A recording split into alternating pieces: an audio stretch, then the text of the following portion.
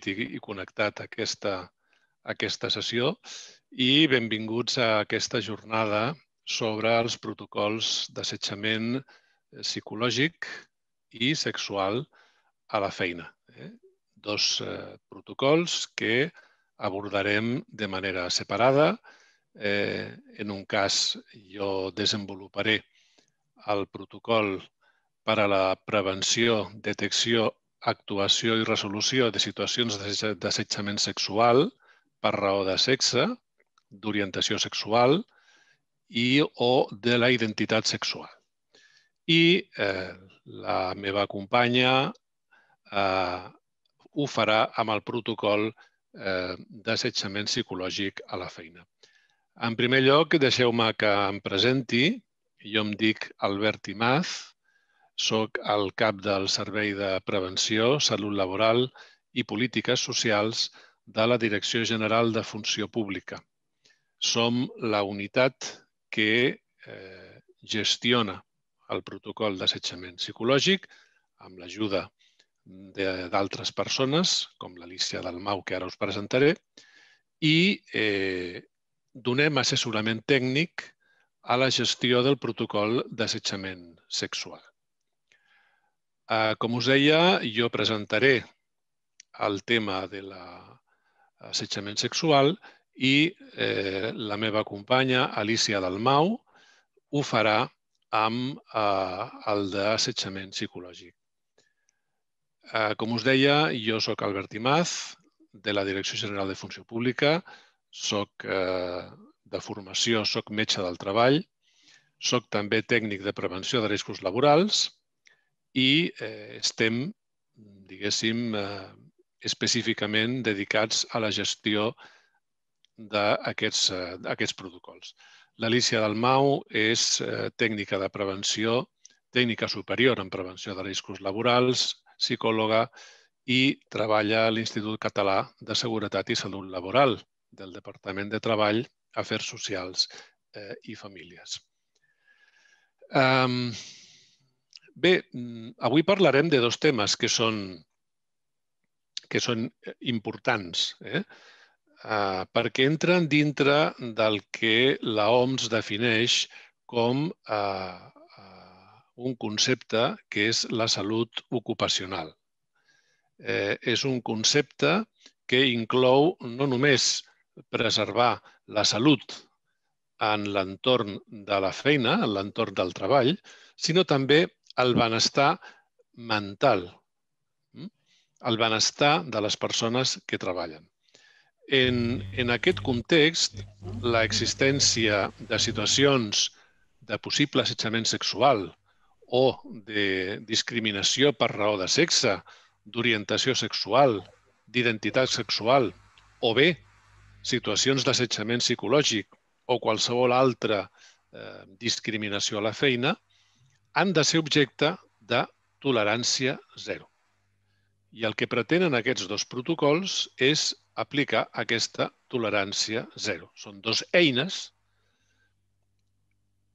No oblidem que els protocols són eines i les eines les apliquen les persones. Per tant, eh, eh, el que hem de garantir és que les persones apliquen bé les eines. Les eines no són bones ni dolentes. Tot es pot millorar, evidentment. Però el que hem de garantir és que les persones eh, apliquin bé aquestes eines. Eh, us presentem, per tant, avui aquests dos protocols eh, en una jornada que se celebra des de l'any 2014 eh, conjuntament organitzada per la Secretaria d'Administració i Funció Pública i l'Escola d'Administració Pública de Catalunya. Escola a la qual vull eh, agrair la seva organització eh, i eh, el seu ajut, el seu suport en la celebració d'aquesta jornada. Uh, bé, mm, D'entrada, demanar-vos eh, disculpes eh, per les possibles incidències tècniques que es puguin produir, eh, dir-vos que teniu a la vostra disposició el xat per fer totes les preguntes que considereu oportunes i aquestes preguntes seran recollides per una altra persona, la Laura Roca, que ens dona suport en aquesta jornada ens les traslladarà i nosaltres les respondrem eh, d'acord amb, eh, amb aquelles qüestions que vosaltres vulgueu, vulgueu aclarir, tractar, etc. Eh, Recordar-vos, eh, ara ho parlarem amb més profunditat, que en relació al protocol d'assetjament sexual eh, hi ha una, una obligació, hi ha un deure d'intervenció dels eh, treballadors eh, de l'administració pública, de les administracions públiques, eh, d'acord amb la llei 11-2014, que obliga a comunicar a qualsevol treballador públic que tingui coneixement d'una situació d'aquest tipus, donar coneixement als seus eh, superiors, a les unitats especialitzades, etc.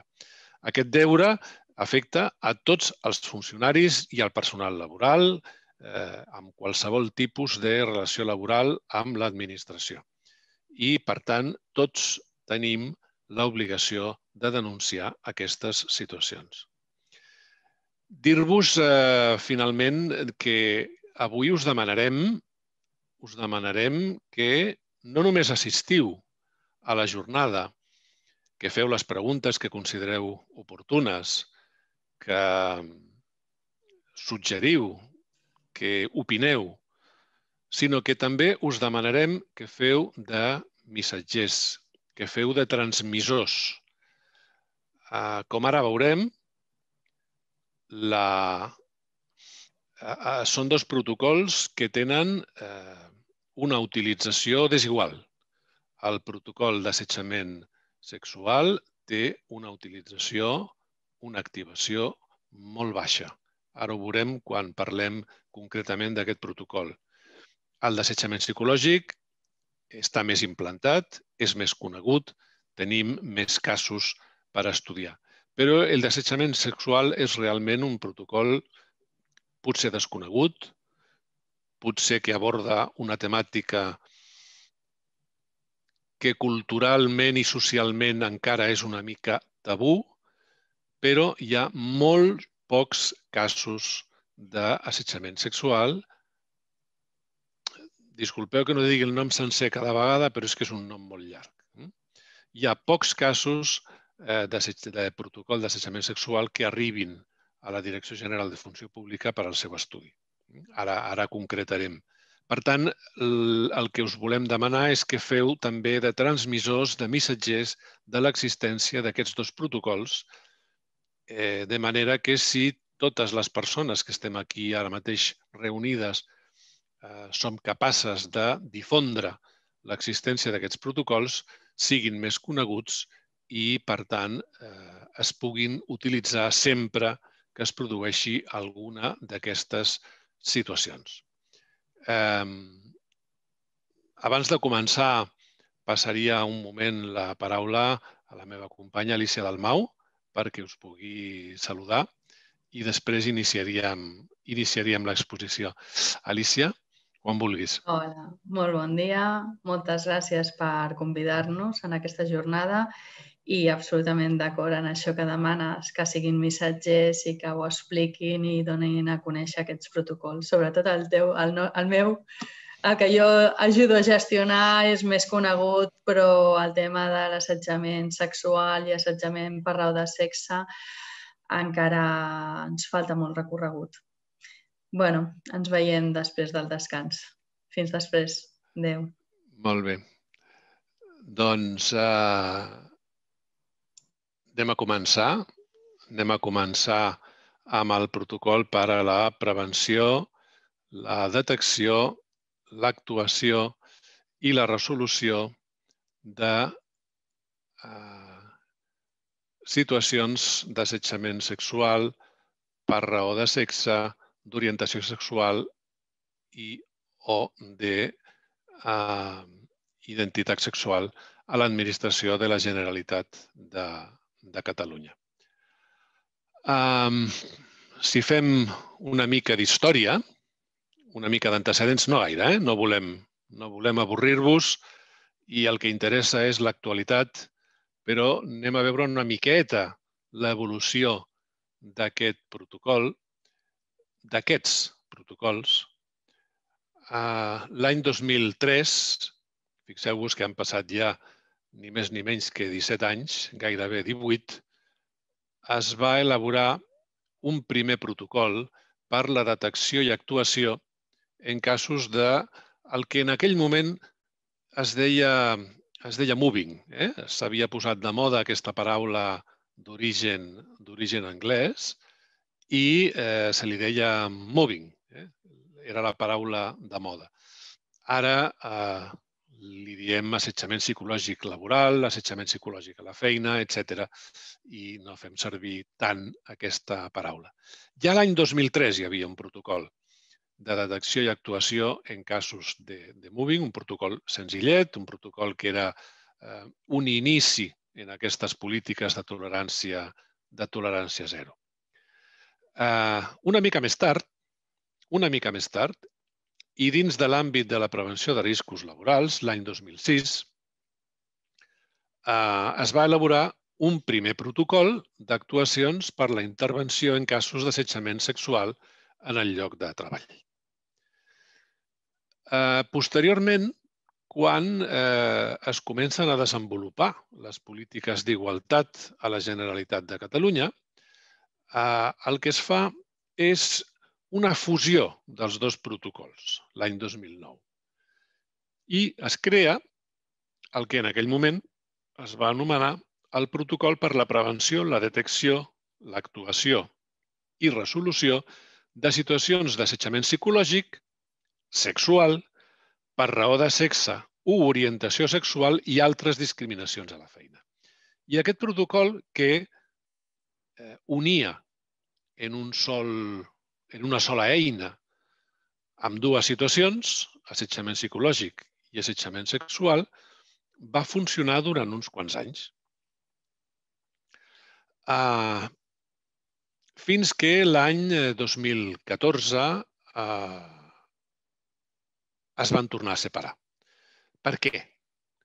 Doncs perquè um, va haver un informe extraordinari, al novembre del 2007, del síndic de Greuges sobre eh, assetjament psicològic perquè eh, es va veure que eh, el resultat de la investigació dels casos denunciats mm, hi havia una certa confusió en quant al tipus d'assetjament, perquè hi havia de vegades una utilització no correcta del protocol i perquè tot això conduïa a una pèrdua de confiança, tant per part dels eh, treballadors i treballadores com dels seus representants. Per tant, es va valorar que hi havia una necessitat de separar els protocols en diferents nivells de participació i, com us deia, es va valorar la necessitat de separar els protocols en diferents àmbits d'actuació. Per tant, què és el que tenim en aquests moments? I aquí ja arribem a l'actualitat. Doncs en aquests moments tenim un protocol per la prevenció, detecció, actuació i resolució de situacions d'assetjament sexual per raó de sexe, d'orientació sexual i d'identitat sexual. Aquest protocol es troba enmarcat en l'àmbit de la Mesa de Negociació de l'Empleat Públic de l'Administració de la Generalitat de Catalunya. Tots aquells eh, treballadors eh, que estan sota el paraigua, sota aquest àmbit de la Mesa General de Negociació, eh, estan eh, emparats pel protocol. I en segon lloc tenim un protocol per la prevenció, la detecció, actuació i resolució de situacions d'assetjament psicològic laboral i d'altres discriminacions a la feina que eh, depèn de eh, l'àmbit d'òrgans de consulta i participació en matèria de prevenció de riscos laborals. Per tant, amb dos protocols han seguit camins diferents i en aquests moments eh, la situació és, és aquesta. Per una banda, el protocol d'assetjament sexual, i disculpeu de nou que no digui tot el nom perquè és molt llarg i ens passaríem tota la sessió repetint els noms, és un eh, protocol que va ser aprovat per la Mesa General de Negociació de l'Empleat Públic de l'Administració de la Generalitat el 30 de maig de 2014. I el 4 d'agost de 2015 un acord de govern ratifica aquest protocol. Per tant, estem davant d'un protocol que està eh, avalat, ratificat, aprovat per un acord de govern. I un protocol que té una sèrie d'instruments tècnics en els quals no aprofundirem, però sí que farem alguna, alguna menció.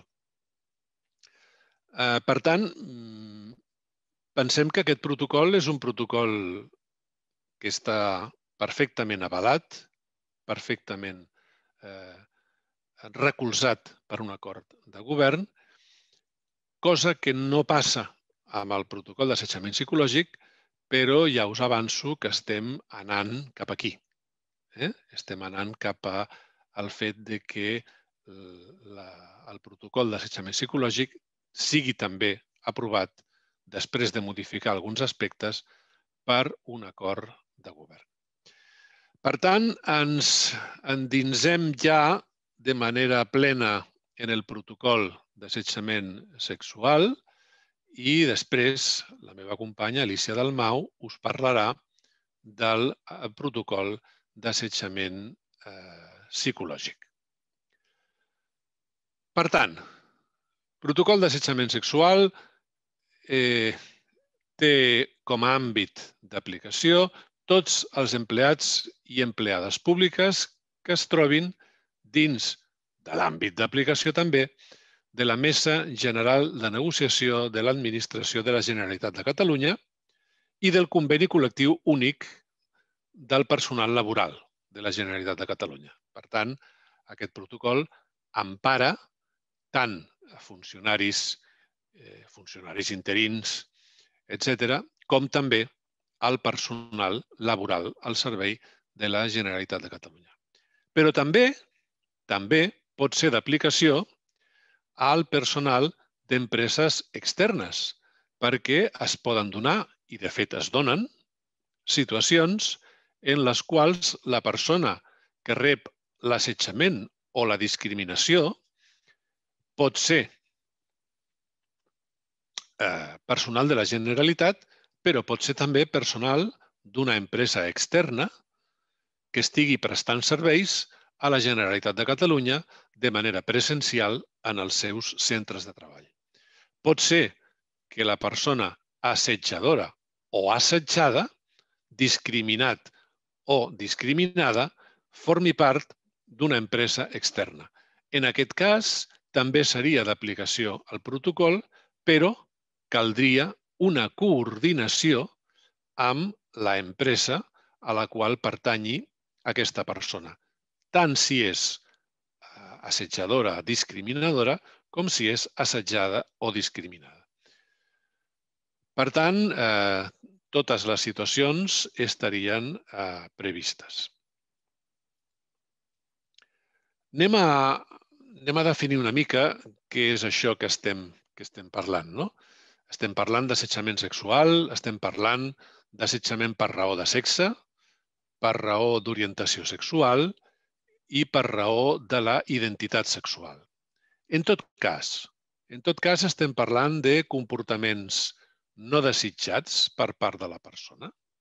I, i aquest, aquest no desitjats eh, té una importància especial que després desenvoluparem. Aquest no desitjats és precisament on hi ha una mica eh, eh, la raó de ser d'aquests protocols. Són comportaments que, evidentment, impliquen connotacions sexuals o de naturalesa sexual o sexista. És a dir, estem parlant de, inclús de comentaris amb contingut sexual. Un, un assetjament sexual no necessita d'un contacte o una agressió físics. Pot consistir en verbalitzar expressions de contingut sexual o sexista. I són comportaments que atempten contra la dignitat d'una persona i li creen un entorn que és intimidatori, hostil, ofensiu i que eh, la degraden i humilien com a persona.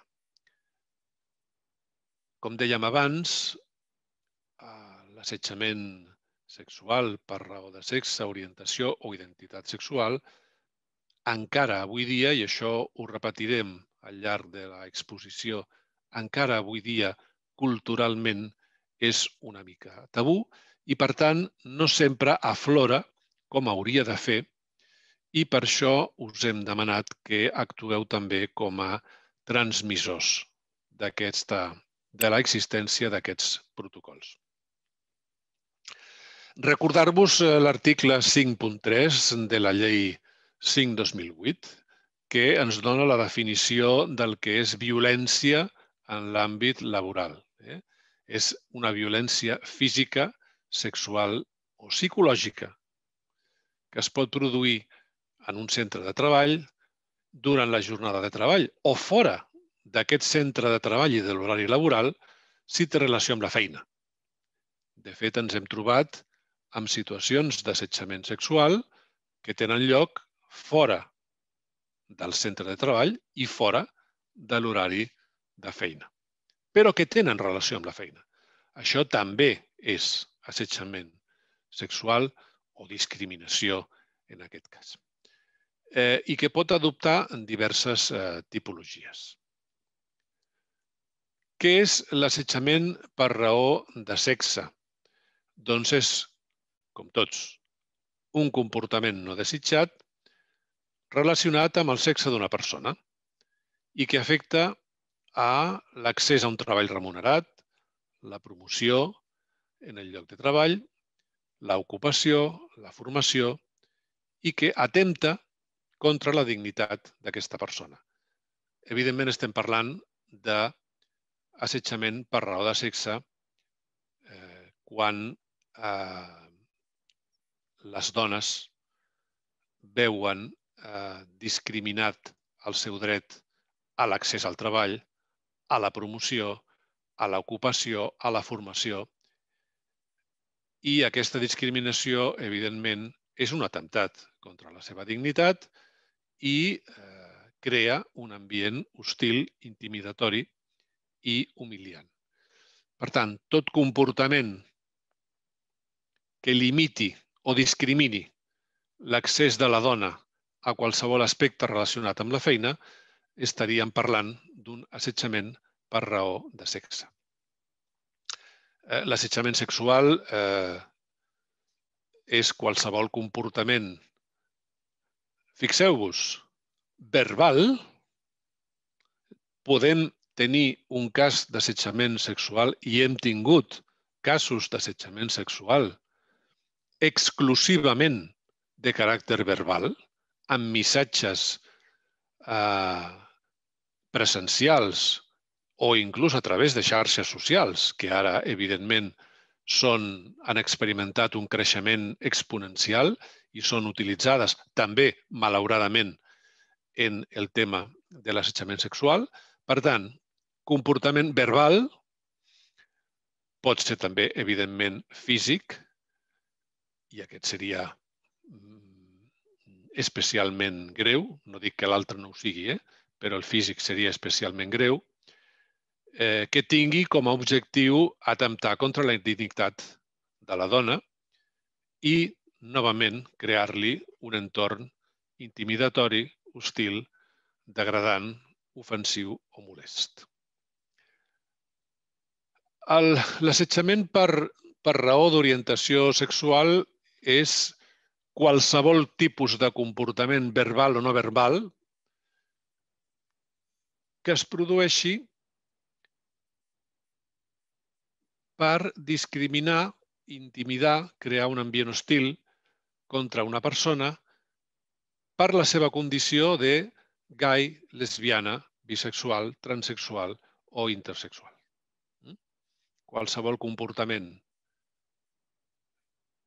que vagi dirigit a atacar aquesta orientació sexual és també un assetjament per raó d'orientació sexual.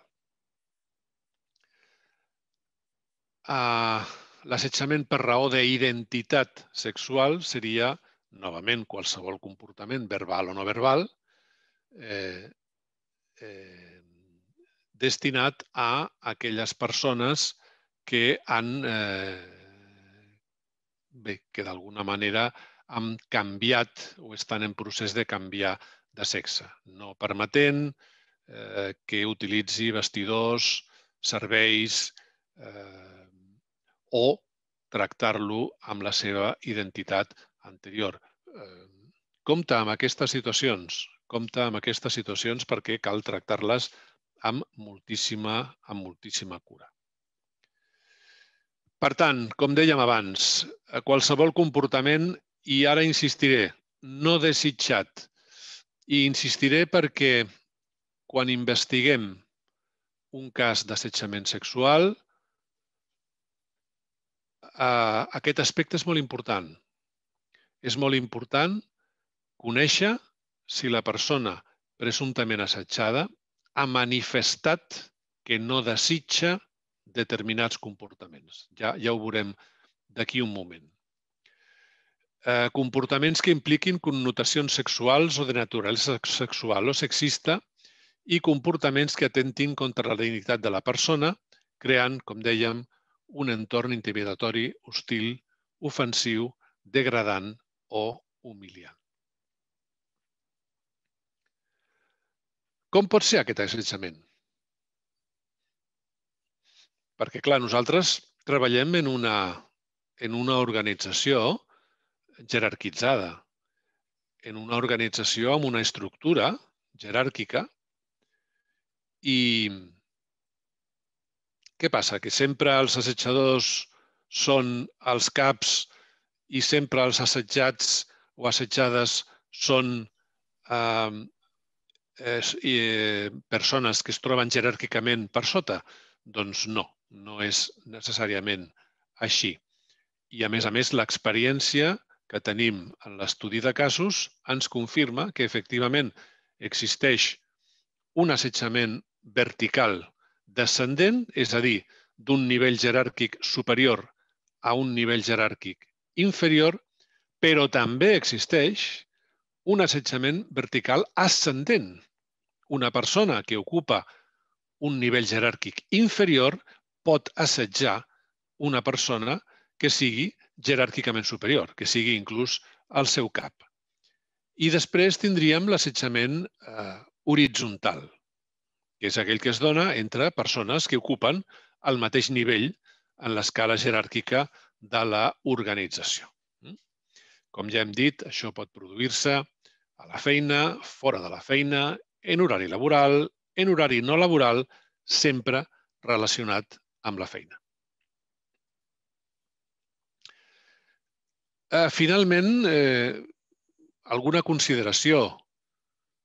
Tots podem ser víctimes d'assetjament o de discriminació per mm, motiu de eh, i, raó de sexe, orientació i identitat sexual. Són situacions que són més freqüents que no ens pensem i que són, evidentment, més freqüents que les que arriben a la Direcció General de Funció Pública. Evidentment que sí. Si jo us dic que aquest és un any especial. Aquest és un any estrany. Aquest és un any que a nivell estadístic segurament no compta. Però si jo us dic que en tot l'any 2019 vam tenir cinc denúncies per assetjament sexual, en una organització de 130.000 treballadors perquè no contem el sector públic. Perdó. No contem el sector públic perquè està fora de l'àmbit d'aplicació del protocol. Però si parlem d'una organització de 130.000 treballadors i treballadores i diem que l'any 2019 va haver-hi 5 denúncies per assetjament sexual, oi que, oi que sona a poc? Doncs, doncs és poc. És poc. 2019, 5 denúncies. 2018, 5 denúncies també.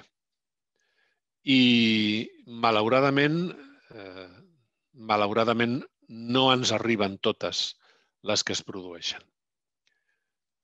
Per això aquest missatge inicial de que som, hem de ser transmissors, missatgers i, a més a més, com hem dit, tenim l'obligació de denunciar les situacions que puguem detectar en la nostra condició de treballadors, de treballadors públics. Uh, bé, uh, ara entraríem en el que és Eh, una mica el eh, desenvolupament del protocol, de com funciona aquest, aquest protocol.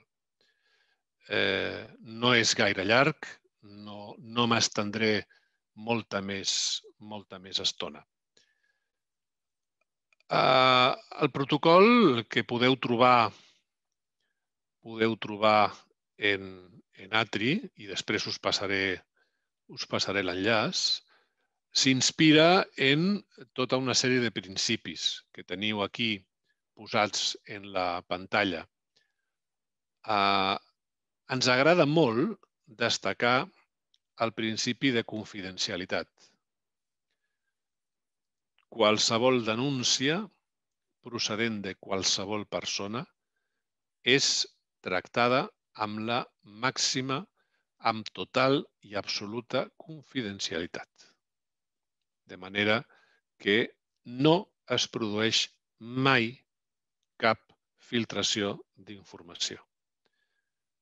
La persona eh, denunciada no coneix les actuacions que es fan, excepte l'entrevista que se li fa, evidentment. Eh, ens sembla especialment important destacar aquesta confidencialitat i Possiblement recordeu alguna publicació en premsa d'algun cas o, o als mitjans de comunicació, però penseu que aquests casos no han estat casos en el marc del protocol. Mm? Després, si voleu, parlem del tema en les vostres intervencions. bueno, aquí qui té responsabilitats? Qui té competències en la gestió d'aquest protocol? Doncs, com us deia, la Direcció General de Funció Pública, a través de dos subdireccions. Hi ha dos subdireccions dintre de Funció Pública que gestionen aquest protocol. La Subdirecció General d'Ordenació Jurídica i d'Inspecció General de Serveis de Personal, que és la, podríem dir, titular de la gestió del protocol i la Subdirecció General de Relacions Sindicals i Polítiques Socials, a la qual jo pertanyo, que dona assessorament tècnic a l'anterior. Per tant, tècnics d'ambdues subdireccions generals són els que gestionen, investiguen i conclouen eh, els casos d'assetjament sexual que arriben a la Direcció General de Funció Pública. Però hi ha més competències i més responsabilitats. També té competències el titular de la Secretaria General del departament afectat o càrrec assimilat, i ara Ara podríem pensar, per exemple, en l'ICS, l'Institut Català de la Salut, que no té secretari general, però té un càrrec assimilat. No? Doncs també té competències perquè eh, precisament al secretari general o càrrec assimilat li tocarà, en cas que existeixi indicis d'assetjament sexual o per raó de sexe o d'identitat o d'orientació sexual, li correspondrà resoldre possibles mesures disciplinàries. També els titulars de les direccions de serveis, dels serveis territorials o assimilats, les unitats de recursos humans, els serveis de prevenció de riscos laborals, que serien els que donarien un suport mèdic i psicològic a les persones afectades. I, evidentment, també la unitat directiva afectada i la resta de comandaments. També hi participen els òrgans de consulta i participació, els delegats i delegades de prevenció, els comitès de seguretat i salut, que han de ser informats de l'existència d'aquests casos, i l'òrgan paritari de polítiques d'igualtat, el que anomenem habitualment l'OPI. L'òrgan paritari de polítiques d'igualtat té una comissió que hi depèn, una comissió de seguiment del protocol d'assetjament sexual. I aquesta comissió és informada, una comissió que està formada per representants dels departaments i representants de les organitzacions sindicals i que és informada periòdicament dels casos i de la resolució d'aquests casos.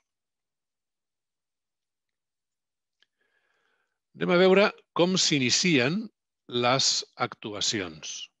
Les actuacions s'inicien sempre a partir d'una sol·licitud. I qui fa aquesta sol·licitud? La persona que s'ha sentit assetjada o discriminada? No. Sí. Però ho poden fer altres actors. No només la persona afectada pot fer aquesta sol·licitud. També la pot fer una persona del seu entorn. La pot fer el Servei de Prevenció de Riscos Laborals. La pot fer la Unitat de Recursos Humans, i de fet en tenim, de fetes, per aquests actors. La pot fer la pròpia unitat directiva, afectada per un cas. La pot fer el Comitè de Seguretat i Salut. La poden fer els delegats i delegades de prevenció. La poden fer representants dels treballadors que no siguin delegats o delegades de prevenció, però que siguin representants electes dels treballadors. I també nosaltres mateixos, la Subdirecció General de Relacions Sindicals i Polítiques Socials, podem fer una sol·licitud d'intervenció. Què passa? Que quan la sol·licitud no la fa la persona afectada, necessitem que aquesta persona ens doni el seu consentiment, express i informat. Ens digui, miri, accepto que vostès investiguin aquest cas i, a més a més, em comprometo a col·laborar i participar en aquesta investigació. Tot això es fa d'una manera absolutament anònima i ara us mostraré, sortirem un moment de la presentació i us mostraré eh, com, com es fa.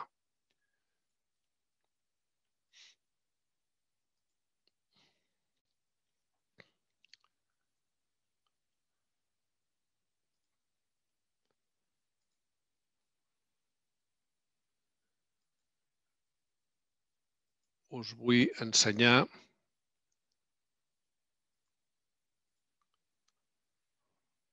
el formulari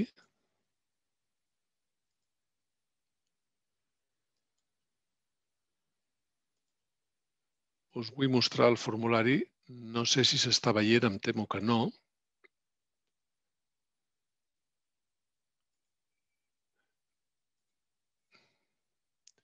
Bé, com deia al principi, disculpeu, si us plau, les dificultats tècniques que ens podem, ens podem trobar. Bé, uh, hi hauria un, un formulari que després també veurem en, en el, procés, el protocol d'assetjament psicològic hi ha un formulari que eh, només conté les dades de la persona que sol·licita. Exclusivament.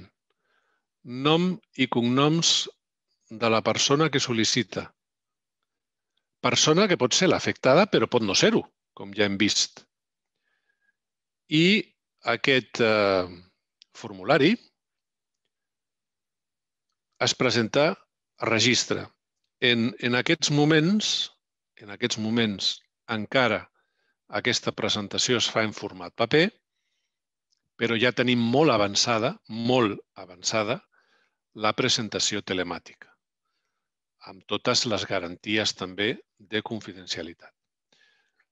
Per tant, un formulari on hi ha simplement les dades de la persona que presenta la sol·licitud. És una sol·licitud que es diu sol·licitud d'estudi de documentació. Hi ha les dades d'una persona, que és la que presenta aquesta sol·licitud. I això es registra. I no conté cap altra dada. No conté cap altra dada. Això es porta a registre i queda registrat. Aquest formulari s'acompanya d'un altre formulari que va dins d'un sobre tancat i els eh, registres tenen les instruccions de no obrir-los mai. I dintre d'aquest sobre tancat va un altre formulari on sí aquesta vegada sí hi ha les dades de la persona presumptament assetjada i de la persona presumptament assetjadora, dades personals, dades del centre de treball i dades de contacte, amb una breu descripció dels fets. Però això va en un sobre tancat. Va en un sobre tancat que nosaltres sempre demanem que, a més a més, porti la llegenda confidencial. Dins d'aquest sobre, a més a més d'aquest formulari, on sí que hi ha les dades personals, a més a més, també hi va qualsevol documentació, qualsevol prova que aquella persona vulgui aportar per eh, demostrar que s'ha produït aquella situació. I, a més a més, quan la persona que fa la sol·licitud no és la persona afectada, dintre del sobre hi anirà també un consentiment informat. La persona afectada ens diu que coneix aquesta sol·licitud, que autoritza la investigació del cas i que, a més a més, col·laborarà en aquesta investigació.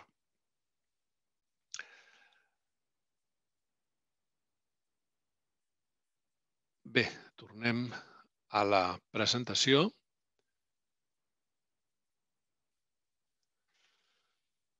Bueno, què fem a partir d'aquí? Què fem a partir d'aquí a la Direcció General de Funció Pública? Aquelles dues subdireccions que hem vist que gestionaven el protocol. Doncs podem fer diverses coses, o, o totes elles. D'entrada, entrevistar a les persones afectades, tant a la persona presumptament assetjada com a la persona presumptament assetjadora. Hem de dir que aquestes persones poden ser acompanyades i assessorades per un familiar, per una persona de confiança de l'entorn laboral, per un representant dels treballadors, per un delegat o delegada de prevenció, inclús, inclús en algun cas, per un representant legal. Eh? Estan en el seu dret de venir acompanyats. També entrevistem a possibles testimonis que puguin corroborar la versió d'un o d'altre de la persona presumptament assetjadora de la persona presumptament assetjada. Testimonis que, evidentment, són absolutament confidencials i eh, les seves dades no es faciliten mai. Evidentment, analitzem totes les proves documentals i podem també obtenir informacions addicionals que puguin ajudar a entendre i arribar a conclusions sobre el cas que estem estudiant. Aquí hi ha alguna, alguna d'aquestes informacions addicionals, la descripció del lloc de treball, les funcions, l'organigrama per conèixer les relacions jeràrquiques, etc.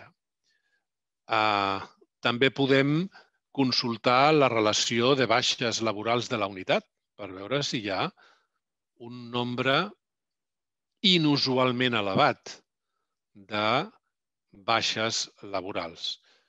Podem consultar si en aquella unitat hi ha hagut un nombre inusual de moviments de persones, si les persones canvien i se'n van d'aquella unitat. I podem també inclús fer visites al centre de treball. Hem de dir, i és molt important, que com segurament molts ja sabeu, en les qüestions de violència de gènere i l'assetjament sexual és una d'aquestes qüestions, existeix allò que se'n diu la inversió de la càrrega de prova. És a dir, en qualsevol altra situació, una persona és innocent fins que no es demostra el contrari, i és la persona que acusa la que ha de demostrar la culpabilitat de la persona acusada. En temes de violència de gènere, això està invertit. I està invertit vol dir que és la persona acusada la que ha de demostrar la seva innocència. Mentre no demostri la seva innocència, la persona que ha fet la sol·licitud té presumpció de veracitat.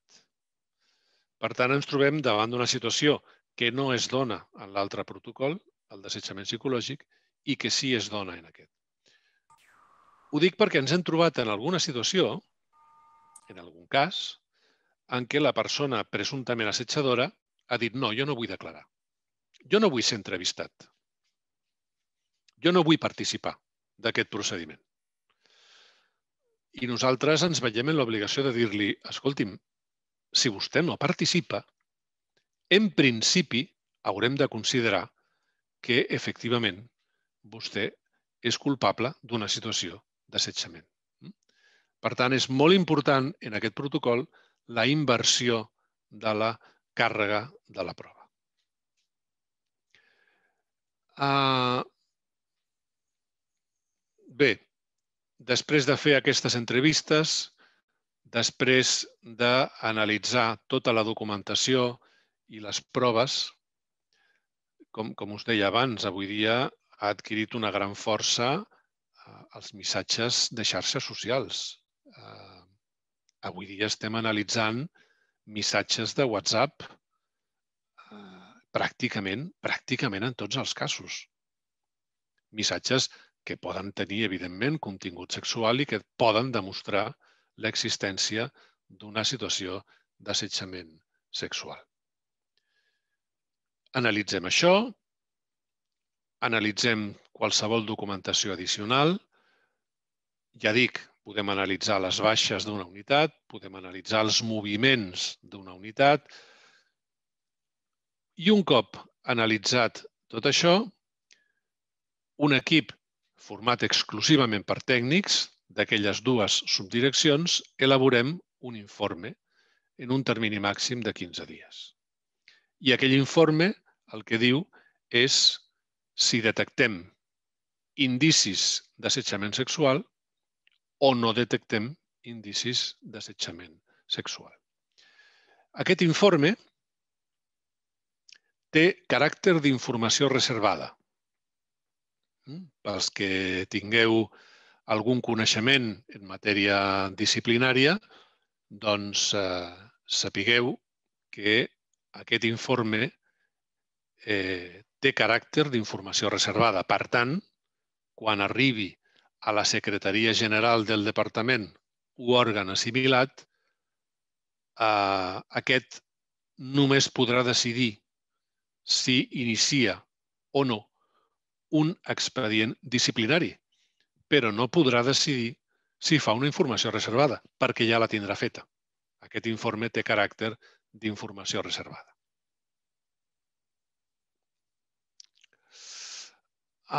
Aquest informe, com deia, constatarà si existeixen indicis d'assetjament i proposarà, si escau, mesures cautelars.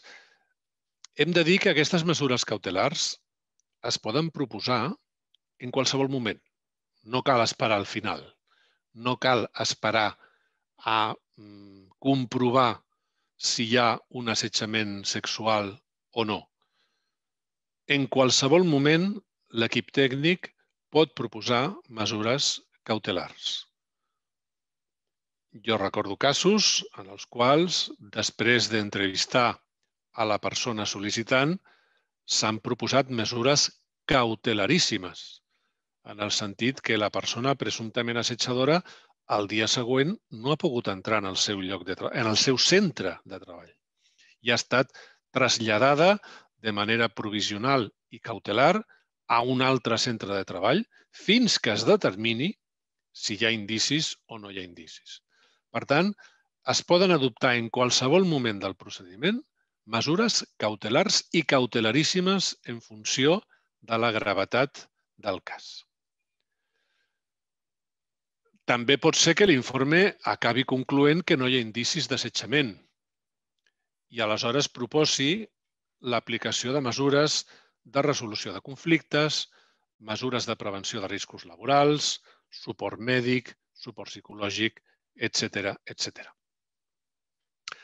Aquí en la pantalla esteu veient quin és el contingut de l'informe, que és el que més o menys us acabo d'explicar, i dir-vos que si es detecten indicis d'assetjament sexual i aquella persona per una afectació en la seva salut està de baixa, aquesta baixa haurà de tenir la consideració d'accident laboral. És a dir, que si aquesta persona està de baixa per una contingència comuna, per una baixa que li ha fet el seu metge de capçalera, aquesta baixa haurà de ser canviada i haurà de ser eh, traspassada a la mútua d'accidents laborals i malalties professionals perquè assumeixi aquesta baixa.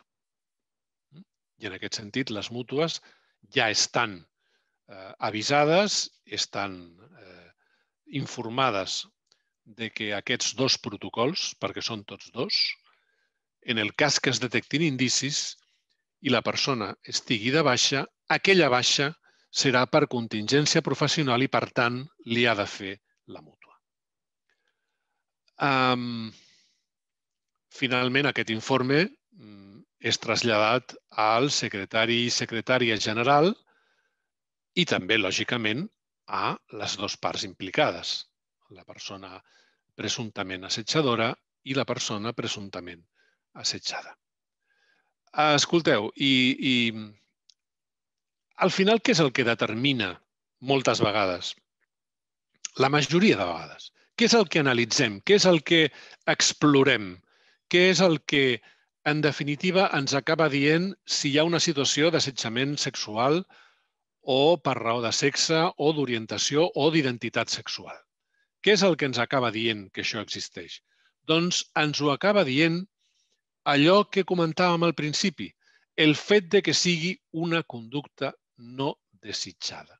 És a dir, la persona presumptament assetjada ha d'expressar-li a la persona presumptament assetjadora que no vol rebre aquell tipus de conducta. Que si se li fa una broma amb contingut sexual, pues ha de dir que no vol bromes de contingut sexual. Que si rep missatges amb contingut sexual, ha de dir que no vol rebre missatges de contingut sexual. Mm?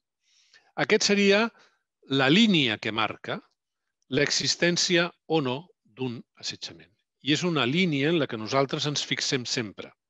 Perquè, escolteu, mm, tots sabem com funcionen els xats de WhatsApp. Oi que ho sabem?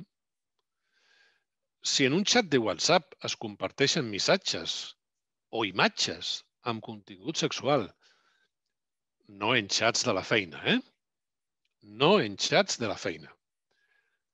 Però si en un xat particular es comparteixen i tothom està d'acord i tothom s'ho pren com s'ho ha d'aprendre i tothom participa i tothom s'ho passa bé, doncs allò no fa mal a ningú.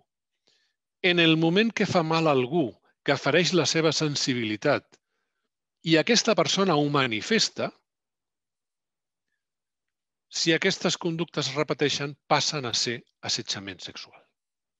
I aquest és el punt clau i el punt més important i que nosaltres valorem sempre. La voluntat, l'expressió per part de la persona de que no està d'acord amb aquelles conductes.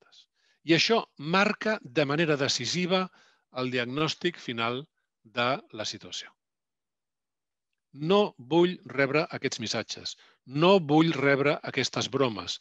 No vull rebre, bé, coses més greus que es poden produir. No vull. A partir d'aquell moment, qualsevol repetició d'aquestes conductes serà un assetjament sexual. Estem acabant ja.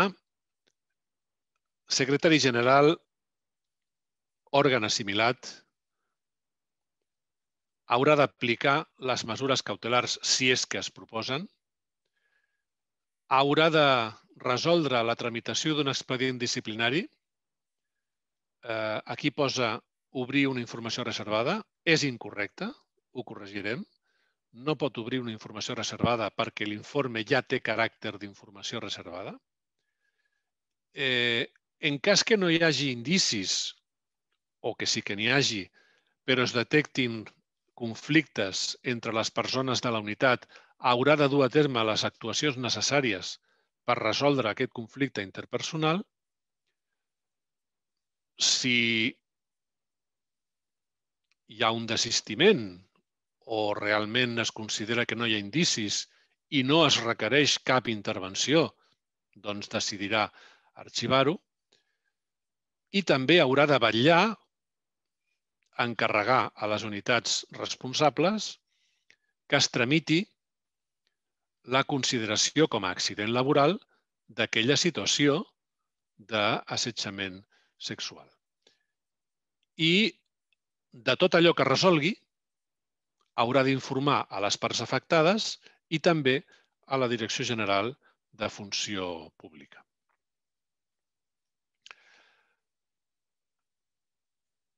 En compliment de la llei de prevenció de riscos laborals i de les lleis de, de igualtat i les polítiques d'igualtat de la Generalitat de Catalunya, hem d'informar als representants dels treballadors i treballadores a través dels òrgans pertinents de totes aquestes situacions. Els delegats i delegades de prevenció, en l'àmbit de la prevenció de riscos laborals a través dels comitès de seguretat i salut. I en aquest sentit, els comitès de seguretat i salut, que es reuneixen com a mínim un cop per trimestre, tenen sempre un punt a l'ordre del dia per parlar dels casos d'assetjament que puguin haver haver-se produït en el departament. També, evidentment, reben informació estadística no dades personals, i informació necessària per fer el seguiment dels casos, el seguiment de com es resol, eh? de com es resol aquell cas. En el cas concret de l'assetjament sexual, també rep informació l'òrgan paritari de polítiques d'igualtat a través de, com us deia abans, una comissió que és la comissió de seguiment de l'òrgan paritari de polítiques d'igualtat una comissió de seguiment del protocol. Aquesta, aquesta comissió està formada per un representant de cada organització sindical i en el mateix nombre, perquè és un òrgan paritari, representants de l'administració. Com a mínim s'ha de reunir dos cops a l'any. Si fos necessari, ho faria més vegades, però com ja us he dit, el número de sol·licituds 5 l'any 2018 i 5 l'any 2019 no justificaria més reunions, però es poden fer, no hi ha absolutament cap problema, i allà reben informació dels casos. I, finalment, eh, aquí teniu un enllaç a Atri. En aquest enllaç podeu consultar els dos protocols. Aquí estan els dos protocols. Eh, si entreu a Atri, en la nova, en el seu nou format, hauríeu d'anar cap a baix. Hi ha una franja negra amb un menú en lletres blanques i dintre d'aquest menú, en lletres blanques, diu assetjament laboral o assetjament a la feina. Si cliqueu aquí, us trobareu els dos protocols, el d'assetjament sexual i el d'assetjament psicològic. Eh? De manera que o bé directament a través d'aquest enllaç o bé entrant a Atri de manera convencional, podeu arribar a tots dos protocols. Amb això finalitzaria l'exposició. Espero que no hagi estat massa llarga ni massa feixuga i podríem obrir un torn de preguntes per eh, resoldre els possibles dubtes que s'hagin produït. Uh, per part meva, moltes gràcies per la vostra atenció i, insisteixo, eh, anem a resoldre els dubtes, les preguntes que s'hagin pogut eh, produir. Moltes gràcies. Eh, Laura, si... Sí, em sentiu? Sí? Sí, sí, sí. Val, primer volia comentar-te que hi ha hagut també moltes opinions o observacions que sí, no sí. sé si realment són preguntes perquè llavors sí que seria molt extens. Jo vaig directament a les preguntes i suposo que si algú veu que falta alguna cosa que vol comentar, podria dir. D'acord. D'acord. Uh, sí, anem a les preguntes perquè són les que tenen resposta. Si creus que hi ha alguna observació que realment eh, sí. és necessari respondre, doncs eh, sí. vale, cap problema. repetit també. Sí. I bé, en primer lloc el que preguntava el més tècnic és si el temari o el PowerPoint s'enviarà per correu electrònic, si, estarà accés, si hi haurà accés a algun lloc, si tothom el pot tenir. Mm, bé, com, com és habitual, eh, aquest PowerPoint i tota la documentació que avui hem mostrat, inclús la que no hem pogut mostrar, per dificultats tècniques, eh, la facilitarem a l'escola i l'escola la penjarà en, el, en la seva pàgina web en el, en el lloc corresponent. Eh? Per tant, estarà a l'abast de, de tothom, sí. Va. Comentant una aportació que potser i que s'ha repetit, eh, és quan parlaves de el protocol d'orientació sexual i algun comentari dient que trans no es considera orientació sexual, que potser el protocol hauria de tenir més... bueno, potser és una manera d'explicar-ho, però que la, el concret que no es podria incloure trans com a orientació sexual. Era una opinió. No sé, fa... no sé, no, disculpa, no sé si ho he identificat mm, com si fossin la mateixa cosa. Si ho he fet ha estat un error, no, no pretenia fer-ho. Mm, haurà estat eh, de manera inconscient, no, no pretenia identificar amb dues coses. I després que es ve una mica de dubtes, que potser s'han resolt posteriorment, en relació a qui, a qui es pot aplicar el protocol, perquè preguntaven pel personal eventual, pel sector públic, pels consorcis, per empreses lligades a l'administració... Eh, el protocol s'aplica bàsicament als eh, departaments de la Generalitat, als seus organismes autònoms, però no al sector públic. El sector públic de l'administració eh, ha de tenir la seva pròpia eh, organització i la seva pròpia, mm, els seus propis protocols per abordar aquestes situacions. Per tant, serien departaments, de la Generalitat, organismes autònoms administratius de la Generalitat, però no el sector públic. A, a gran trets seria, seria això. Mm. Una altra pregunta relacionada amb els serveis de prevenció. Sí, I sí. pregunten si has comentat tu que donen suport psicològic a les persones afectades si tenen la formació bàsica en psicologia. A veure, la normativa no obliga a, un, a una empresa a que el seu servei de prevenció tingui un psicòleg. Ni que sigui un psicòleg clínic o un psicòleg industrial o un psicòleg... No, no hi ha aquesta obligació. Però la normativa també permet que si un servei de prevenció no pot assumir una determinada funció perquè no té els mitjans tècnics, humans, per fer-ho, pot contractar-ho amb el que s'anomena un servei de prevenció aliè, és a dir, una empresa externa que es dedica a la prevenció de riscos laborals i que eh, les empreses i la Generalitat també pot contractar per fer una funció, una tasca determinada, com pot ser aquesta. Vull dir, podem contractar un servei de prevenció aliè perquè doni suport psicològic a aquestes persones.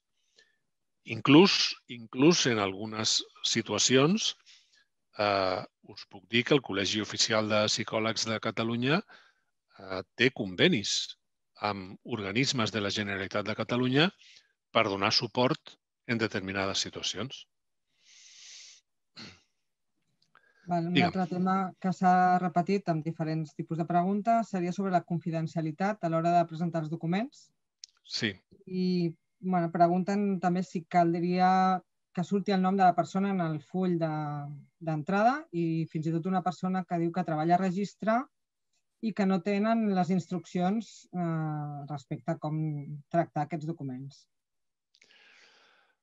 Um, a veure, ja, ja he comentat que el full de sol·licitud simplement inclou nom i cognoms de la persona que presenta, res més. I la persona que presenta pot no ser la persona afectada.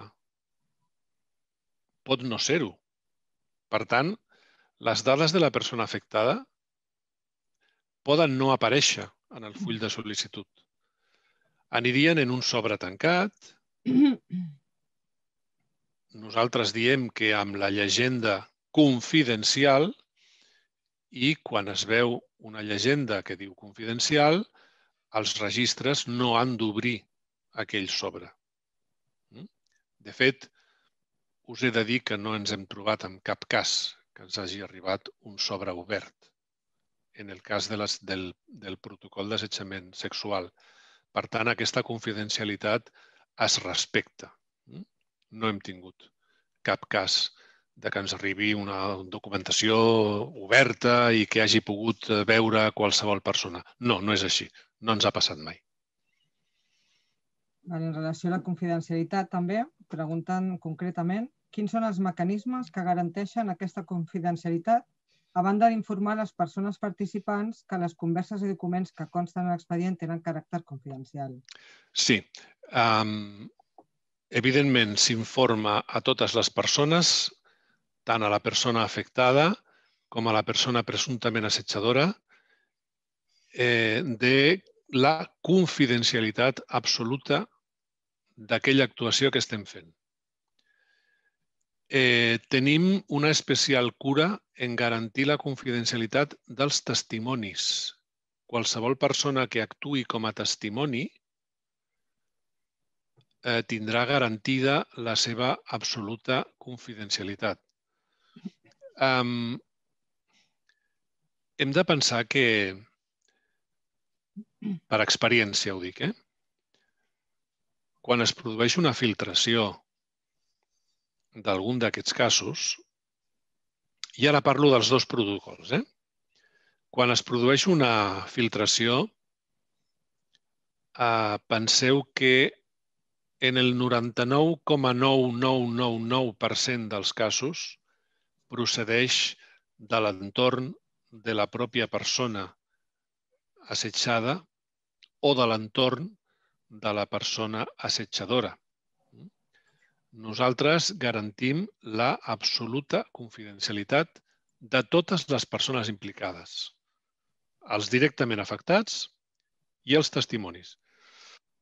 I només informem, evidentment, del resultat al secretari general o òrgan assimilat que ha de conèixer el cas per poder aplicar les mesures disciplinàries i de prevenció de riscos i de suport mèdic i psicològic, etc, que s'escaiguin i a les persones afectades. No informem ningú més. Per, per tant, la confiden... el... No, deia que la confidencialitat està absolutament garantida. Jo sé que és una de les preocupacions més importants. La confidencialitat està absolutament garantida. Continuem digues, digues. si en el cas de vulnerar aquest principi de confidencialitat, quines són les actuacions que adopta l'administració quan és coneixedora dels fets? Si hi hagués una filtració per part d'un empleat públic, evidentment, si la filtració ve, jo què sé, d'un familiar d'una persona implicada, aquí l'administració no tindria potestat. Hi ha mecanismes, eh? Hi ha mecanismes, però l'administració no tindria potestat.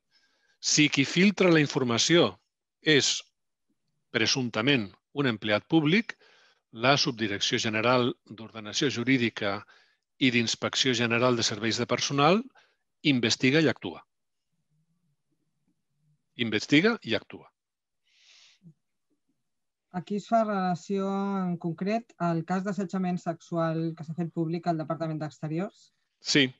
I preguntant així com per què s'ha deixat que es porti com un tema intern de partit en comptes d'aplicar el protocol? Um, he de dir, deixeu-me dir que de tot això hem parlat a la comissió de seguiment de, del protocol que eh, es va reunir fa poques setmanes per tant, els òrgans de participació funcionen. Eh?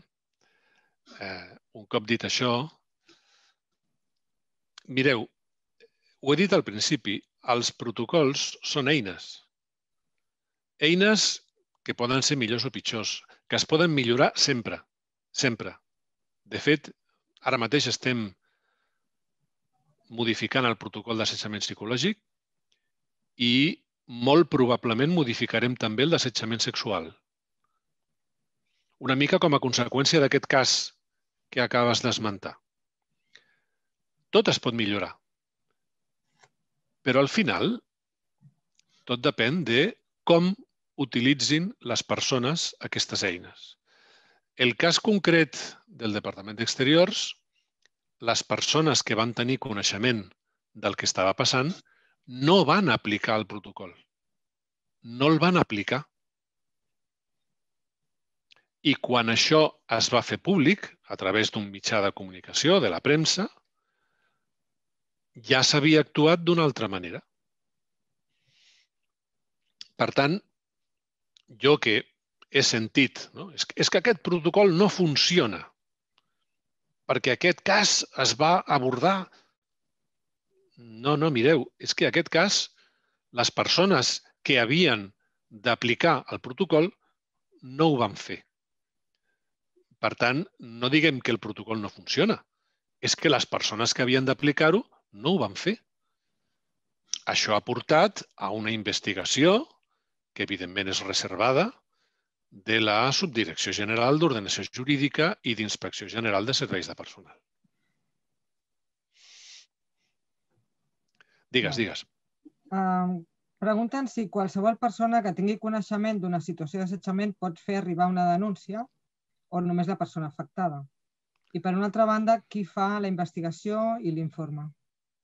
Sí, ja crec, crec que això ho hem, ho hem comentat. Eh? La sol·licitud la pot fer arribar eh, la persona afectada, el Servei de Recursos Humans, el Servei de Prevenció, el Comitè de Seguretat i Salut, els delegats de prevenció, delegats sindicals, eh, la unitat afectada. Fixeu-vos si hi ha possibilitats de presentar la sol·licitud. Eh? Vull dir, l'única cosa que demanem és que eh, quan la sol·licitant no és la persona afectada, doncs ens assigni un paper conforme està d'acord. Ja està, simplement això. La investigació la portem a terme eh, conjuntament les dues subdireccions generals que he comentat, eh, amb personal de l'àmbit eh, jurídic, per una banda, eh, de l'àmbit jurídic, i personal de l'àmbit eh, de la psicologia i de la medicina del treball.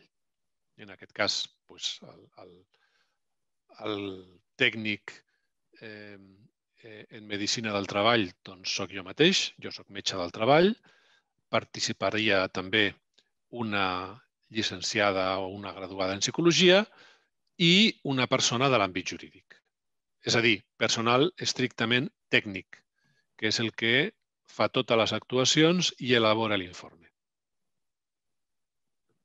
Vale. Ara pregunten um, si es té previst o ja està aprovat la modificació del protocol perquè l'informe que emet la funció pública passi a tenir caràcter d'informació reservada. En el cas de l'assetjament sexual ja és així.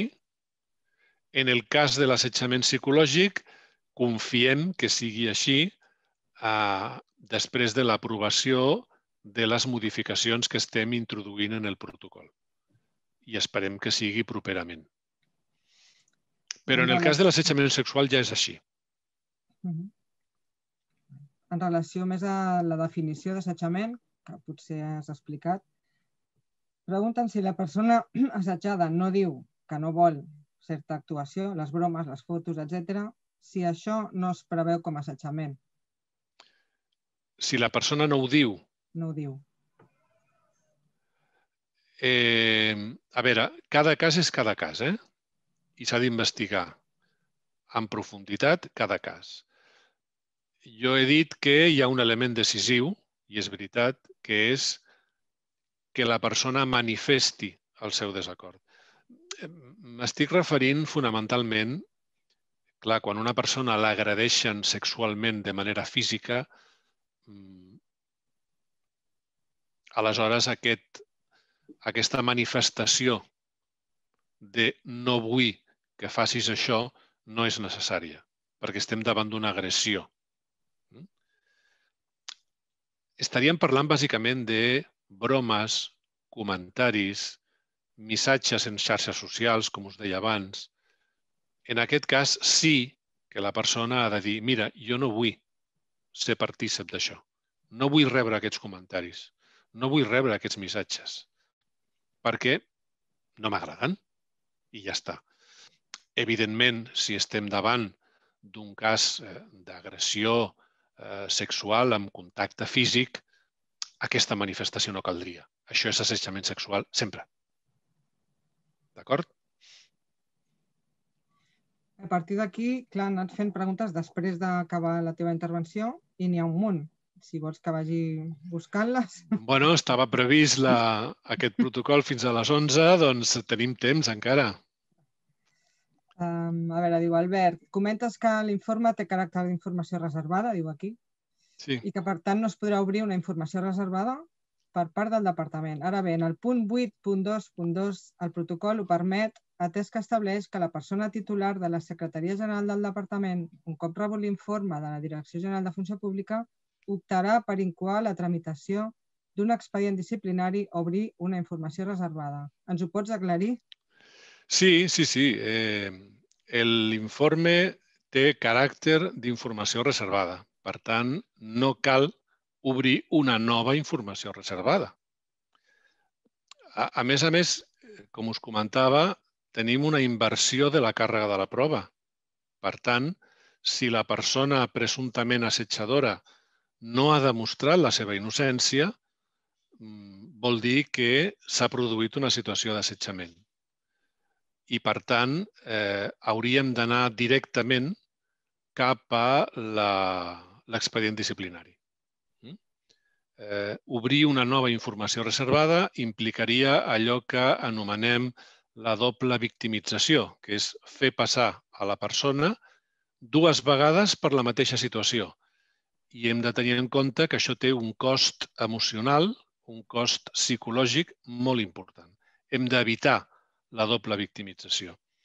I per aquest motiu se li dona caràcter d'informació reservada a l'informe de l'assetjament sexual i el que es vol fer és el mateix, ara no és així, però es vol fer el mateix amb l'assetjament psicològic. Una altra. Pregunten que des de que s'inicia el protocol, la sol·licitud, fins que es resol, quant temps pot passar? I si hi ha terminis eh... per cada fase? Sí, sí, sí, hem comentat abans que hi ha un termini de 15 dies. I aquest termini, en el cas de l'assetjament sexual, es compleix. En el cas de l'assetjament psicològic, després podem parlar eh, tot el temps que vulgueu, no s'estan complint els terminis per motius que podem comentar, però en el cas de l'assetjament sexual aquest termini de 15 dies es compleix en relació als casos de psicològic, pregunten quan s'han presentat l'any 2020. Psicològic, perdona, o sexual? Psicològic. Bueno, bueno això... s'ha activat el protocol, entenc que parla de... No, no concreta. Del psicològic presentarem unes estadístiques eh, després de l'explicació de l'Alicia la, de del Mau, presentarem una estadística. Del sexual us he comentat l'any 2018 i 2019, 5 en 2018 i 5 en 2019. Aquest any, 2020, estrany, diferent, excepcional, n'hem rebut dos. Hem rebut dos que, a més a més, en un cas es va produir un desistiment, la persona va desistir, i en l'altre cas la presentació de la sol·licitud es va fer després de presentar una querella penal contra la persona assetjadora i, per tant, hem hagut d'aturar la investigació perquè està en seu judicial. En el moment que hi hagi un pronunciament judicial, aleshores podrem continuar. Mentrestant, la investigació resta aturada. Pregunta, una altra cosa és si hi ha algun òrgan de consulta obligatori. Òrgan de consulta obligatori. No hi ha més definició. Mm, a, a, a veure, es pot fer tot allò que l'equip que fa la investigació consideri oportú. Eh, ja hem dit que podíem fer una visita al centre de treball, consultar les baixes, consultar els moviments, eh, buscar assessorament, per què no? No hi ha cap limitació. El protocol no estableix cap limitació. El que sí que és cert és que en els casos que hem analitzat fins ara, amb les declaracions en entrevista, amb les proves documentals i amb tota la informació addicional que, que hem accedit, hem tingut suficient per poder mm, determinar l'existència d'indicis o no. Però ja dic, no, no hi ha cap limitació en el protocol. Vale, pregunten per la prevenció. Si hi ha alguns mitjans de prevenció a part del protocol, un cop hi ha una sol·licitud. bueno, quan hi ha una sol·licitud, la prevenció ja no, ja no ha funcionat. La prevenció ja no ha funcionat quan hi ha una sol·licitud, en aquest protocol i en el psicològic. Vol dir que la prevenció no ha, no ha funcionat. La prevenció és una, és una qüestió, mm, malauradament, a més llarg termini. La prevenció requereix d'un canvi cultural, requereix d'unes actuacions que no tenen resultat d'avui per demà. Per tant, eh, penso que eh, això que estem fent avui és prevenció. Altres actuacions formatives i informatives són prevenció, però, evidentment, això no dona resultat d'avui per demà. Evidentment, quan arribem al protocol és perquè la prevenció no ha existit o ha fracassat. I hem d'incidir en aspectes preventius, evidentment que d'alguna manera estan recollits al, al protocol. Eh? Si us el mireu a través d'Atri, com, com us he indicat, eh, veureu que la prevenció també està prevista. Uh, repeteixen ja diferents observacions de nou per dir que no ha quedat clar l'àmbit d'aplicació i sobretot pel que fa al personal eventual. Sí, sí, sí, sí, el personal eventual sí. Sí, sí. Quan, quan dic personal dels departaments de la Generalitat i dels seus organismes autònoms administratius, el personal eventual està inclòs. Sí, sí, sí. El que no està inclòs, insisteixo, és el sector públic. Però sí tot el personal eh, dels departaments i dels organismes autònoms administratius. Amb, amb alguna petita excepció, però tampoc eh, cal entrar eh, en detall. Personal de la Generalitat i dels seus organismes autònoms administratius. I no queda inclòs el sector públic. Fundacions, eh, consorcis, etc. Tot això no està dintre de l'àmbit d'aplicació. Aquí hi ha una cosa molt concreta que diu consideracions per poder aplicar la separació laboral cautelar entre presumpta assetjada i assetjador. Uh, insisteixo en el que deia abans. Cada cas és cada cas i s'ha d'analitzar en profunditat. Us, us deia que, que s'han adoptat mesures cautelaríssimes després d'una primera entrevista impedint que la persona presumptament assetjadora anés al seu lloc de treball el dia següent. Uh, per què? Perquè havia un evident una evident, una evident afectació per la salut, perquè pot haver un risc o una amenaça prèvia per part de la persona. Vull dir, són situacions que s'han d'analitzar cas per cas i decidir si s'apliquen aquestes mesures cautelars, si són necessàries o si no són necessàries. No, no, no hi ha un criteri únic. És l'anàlisi en profunditat de cada cas.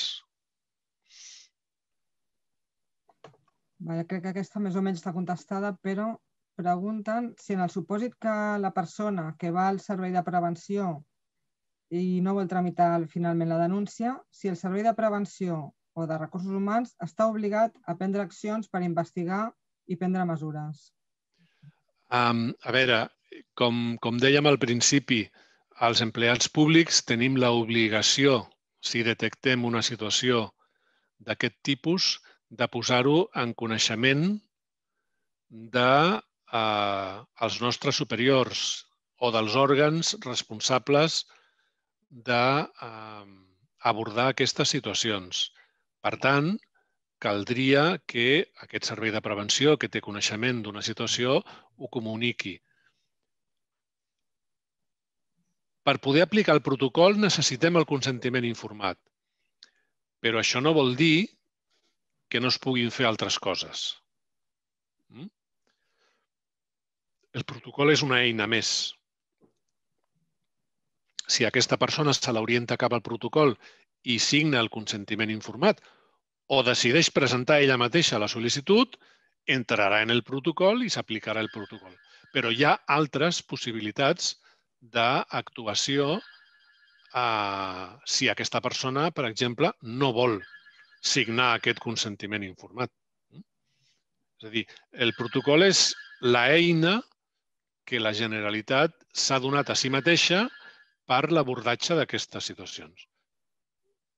Però, mm, insisteixo, hi ha aquesta obligació i hi ha altres vies per arribar a la, a la solució d'aquestes situacions. Una persona, per exemple, que, que és el que comentava fa un moment, no? Una persona que directament se'n va anar a un jutjat i va posar una denúncia. I després va presentar la sol·licitud del protocol. Clar, aquí nosaltres ens hem vist obligats a aturar-nos.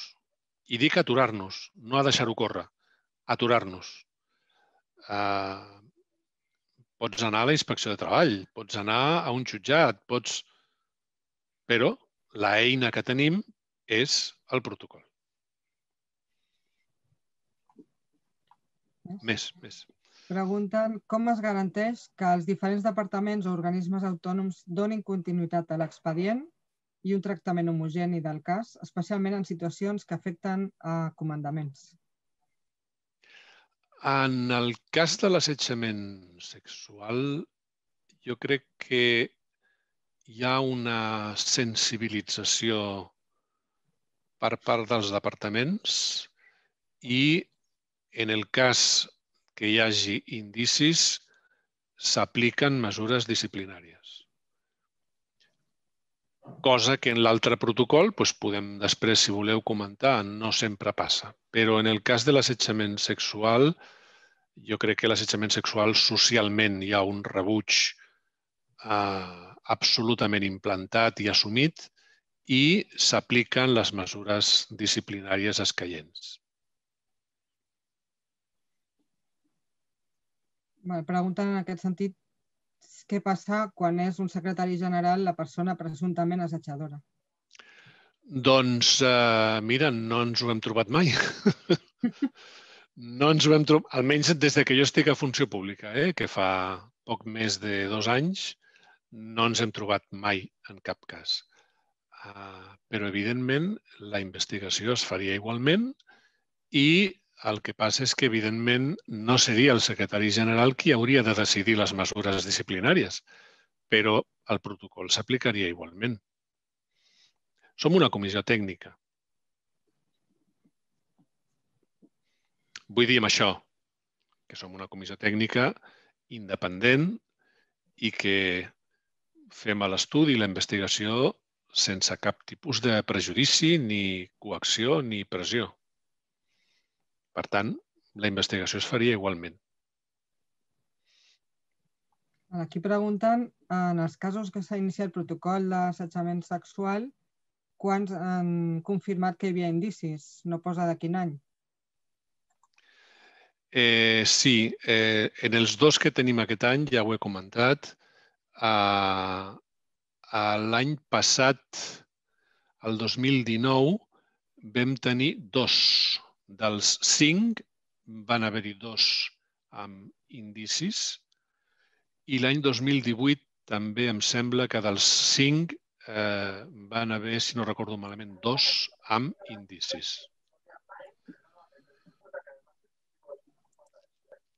Aquí hi ha una pregunta que diu... Ui, se sent algú. Quan triga la funció pública a investigar un cas de no, no confidencialitat? Perdó? Hi ha algú que té el micro obert? Sí.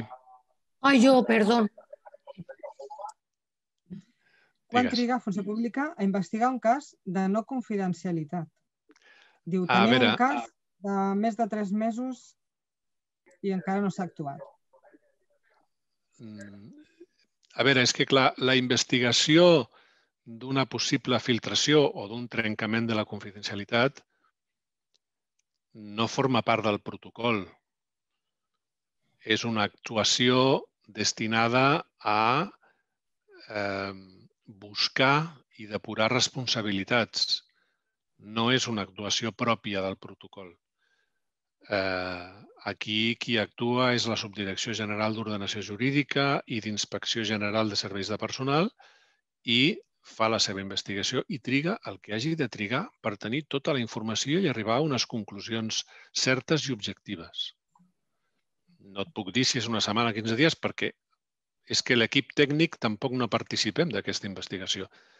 Aquesta investigació no és per assetjament, és perquè s'ha trencat una confidencialitat i, per tant, no és pròpiament del protocol.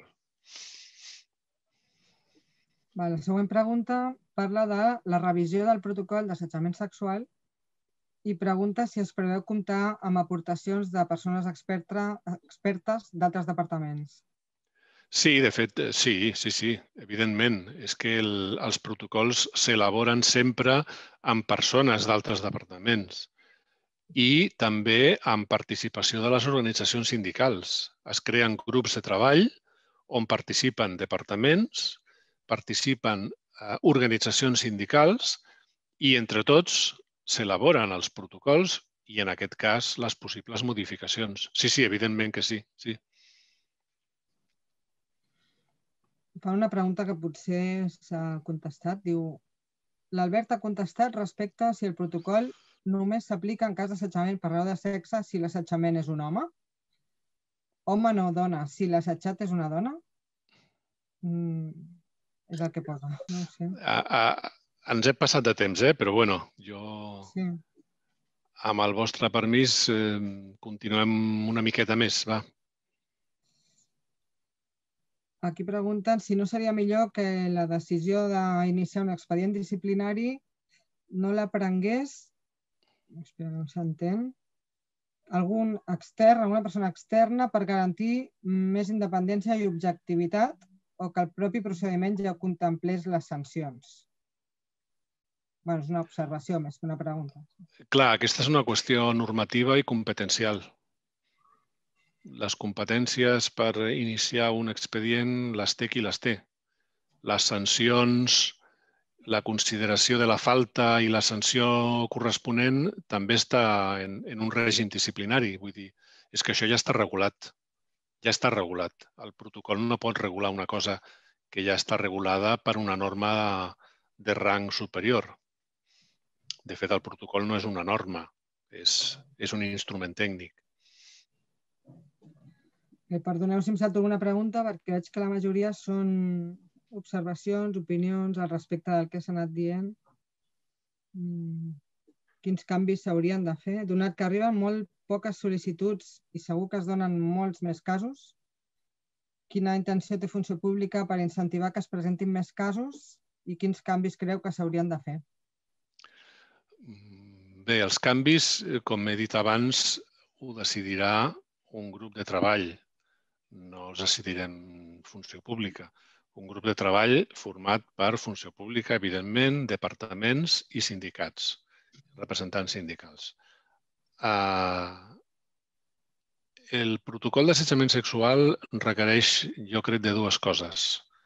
La primera, difusió.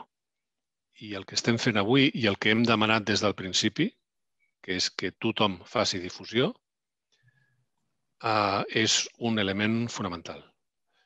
I després requereix d'un uh, canvi cultural. Estem davant d'una matèria que continua sent tabú, que continua fent molta vergonya a les persones i això és un canvi cultural que, evidentment, eh, costa. Costa, siguem conscients que aquest canvi costa. Per tant, quantes més accions com aquesta que estem fent avui es facin, millor. Avui la fem d'aquesta manera virtual perquè les circumstàncies sanitàries ens obliguen. Eh, fins ara es feien de manera presencial i, he de dir que la participació d'avui sembla que és molt important, però en altres ocasions la participació no ha estat tan, tan nombrosa eh, jo crec que tots hem de ser difusors i transmissors d'aquest eh, aquest instrument, d'aquest protocol. I... No, llavors, perdó. No, no, digues, digues, digues. No, és que veig moltes coses són opinions del que has anat dient ja a les respostes i potser alguna queda que se'n pot bueno, escapar. Haurem de, haurem de... Sí. Una, per exemple, és que els funcionaris has dit que poden anar a inspecció de treball i aquí tenen dubtes. Diu, tenim entès que només podem anar a la inspecció per incompliment de la llei de prevenció de riscos. Hem tingut casos. Hem tingut casos que havien passat eh, per la inspecció de treball. És a dir, eh, quan el treballador pensa que els seus drets no s'estan respectant, eh, hi ha una sèrie d'òrgans que l'emparen. La inspecció de treball és una. La jurisdicció social és una altra, inclús, inclús la penal, com, com ha passat en algun cas. Eh, el que és possible, i això en, en assetjament psicològic eh, s'ha donat, és que la inspecció de treball li digui, miri, la seva organització té un protocol. Eh, faci vostè una sol·licitud en el marc d'aquest protocol i li faran la investigació corresponent. Mm? Ara, no podem negar-li al treballador el seu dret a accedir a tots aquells òrgans que s'encarreguen de eh, garantir els seus drets. Tot i que després pugui ser reconduït cap al protocol. Hauríem de anar finalitzant. No sé si hi ha alguna altra pregunta o observació important. Sí, sí, bueno, triar important. No? Hi ha una concreta, d'un cas concret, si, sí. si, la, si un resultat assetjador és un mosso d'esquadra, el personal assetjat és extern, si s'ha d'activar el protocol dels Mossos, el protocol de funció pública, perquè si han d'intervenir afers interns. Eh, quan he dit que el protocol és d'aplicació al personal dels departaments i als seus organismes autònoms. He dit, amb alguna petita excepció que ara no aprofundirem. Doncs mira, Mossos d'Esquadra és una excepció. És una excepció, tant en l'àmbit sexual com en l'àmbit de l'assetjament psicològic. Eh, no se'ls apliquen aquests protocols. En tot cas, sí que he dit que en, la, en, en aquests protocols està contemplada l'afectació com a assetjador o assetjadora o assetjat o assetjada de personal extern. Això ho he dit al principi. I, evidentment, el protocol es posa en marxa igualment.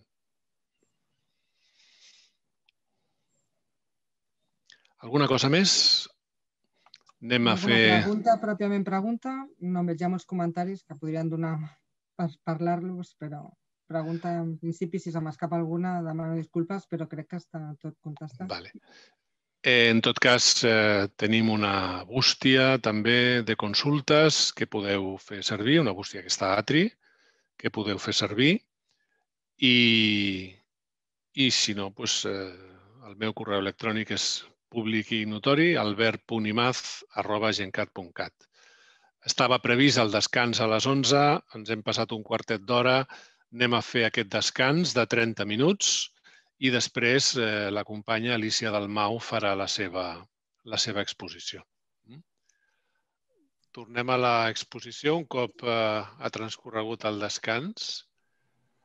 Eh, com us comentava abans, ara intervindrà la meva companya de jornada, l'Alicia Dalmau, tècnica superior en prevenció de riscos laborals de l'Institut Català de Seguretat i Salut Laboral, especialitzada en riscos psicosocials i que eh, forma part de les comissions d'investigació eh, en els casos d'assetjament eh, psicològic laboral.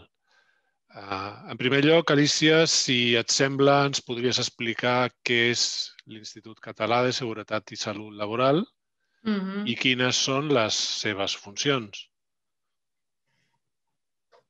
Vale. Inicio explicant que, com que abans ha explicat l'Albert, és la primera vegada que utilitzem el Zoom, anem cadascú provant fórmules diferents. Llavors jo he dividit en diferents mòduls eh, la meva exposició per tal de que a finalitzar cada mòdul es puguin anar fent preguntes i anar-les responent sobre la marxa perquè no quedin desvinculades dels temes.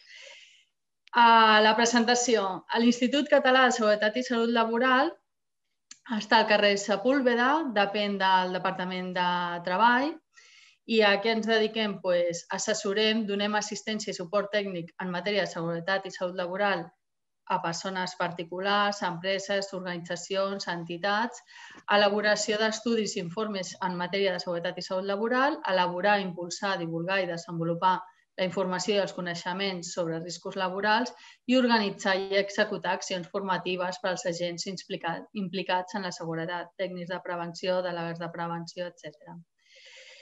I en relació a l'assetjament, som membres, com acaba de dir l'Albert, som membres de la Comissió d'Investigació del Protocol de, per la Prevenció, la detecció i la resolució d'investigació de situacions d'assetjament psicològic laboral. Fem estudis i informes específics de... A partir d'ara li direm APL, com abans deia l'Albert, a vegades els noms són tan llargs que acabem dient quatre sigles. Vale? APL és assetjament psicològic laboral accions formatives específiques sobre l'APL, com avui estem aquí col·laborant en aquesta jornada, i publicacions sobre el mateix tema. Un dels eh, problemes o dificultats en les investigacions o a l'hora de planificar mesures preventives d'assetjament psicològic laboral és precisament acordar què s'entén per assetjament psicològic laboral, on posem el límit per dir que allò ha deixat de ser una situació d'estrès, eh, conflicte, i s'ha convertit en una situació de violència psicològica. Mm. Ens ho pots eh, aclarir? Realment és, el, és un tema complicat. Ja comencem per el tema de la nomenclatura, no? Parlem de...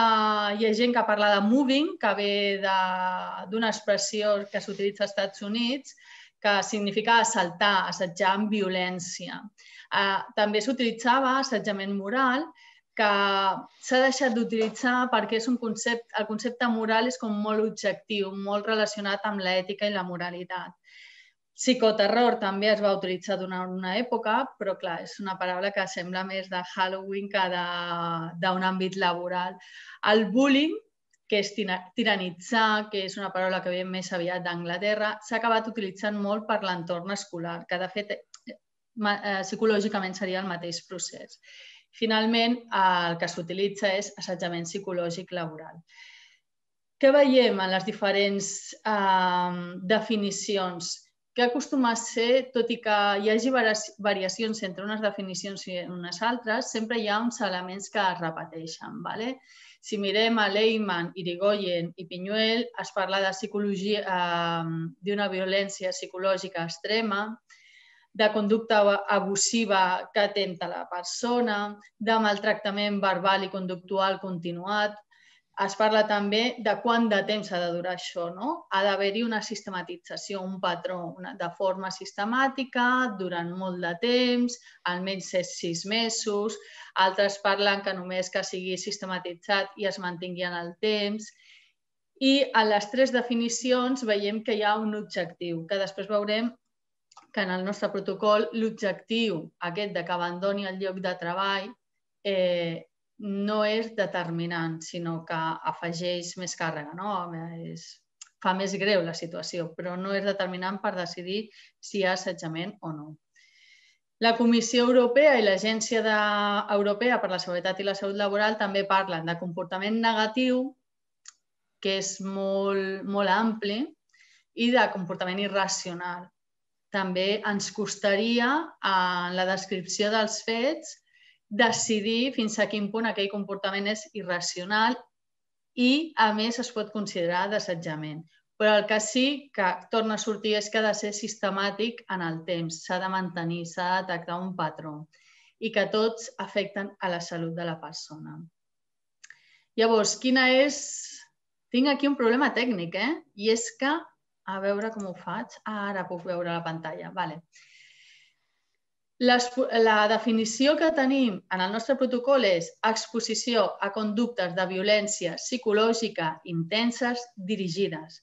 De manera reiterada, veiem que ja no es tracta ni de sis mesos ni de tres mesos, cap a una o diverses persones per part d'altres persones que actuen des d'una posició de poder, no necessàriament jeràrquica. Després explicarem què vol dir això amb el propòsit o l'efecte de crear un entorn intimidador per, per, que pertorbi la vida laboral de la víctima. Aquesta violència enmarcada en una relació laboral implica tant un atemptat a la dignitat de la persona com un risc per la seva salut. Uh, per considerar assetjament psicològic, les conductes esmentades cal que es donin totes les condicions de la definició anterior, si bé la intencionalitat i o finalitat destructiva només són considerades agreujants a l'efecte de l'aplicació del protocol.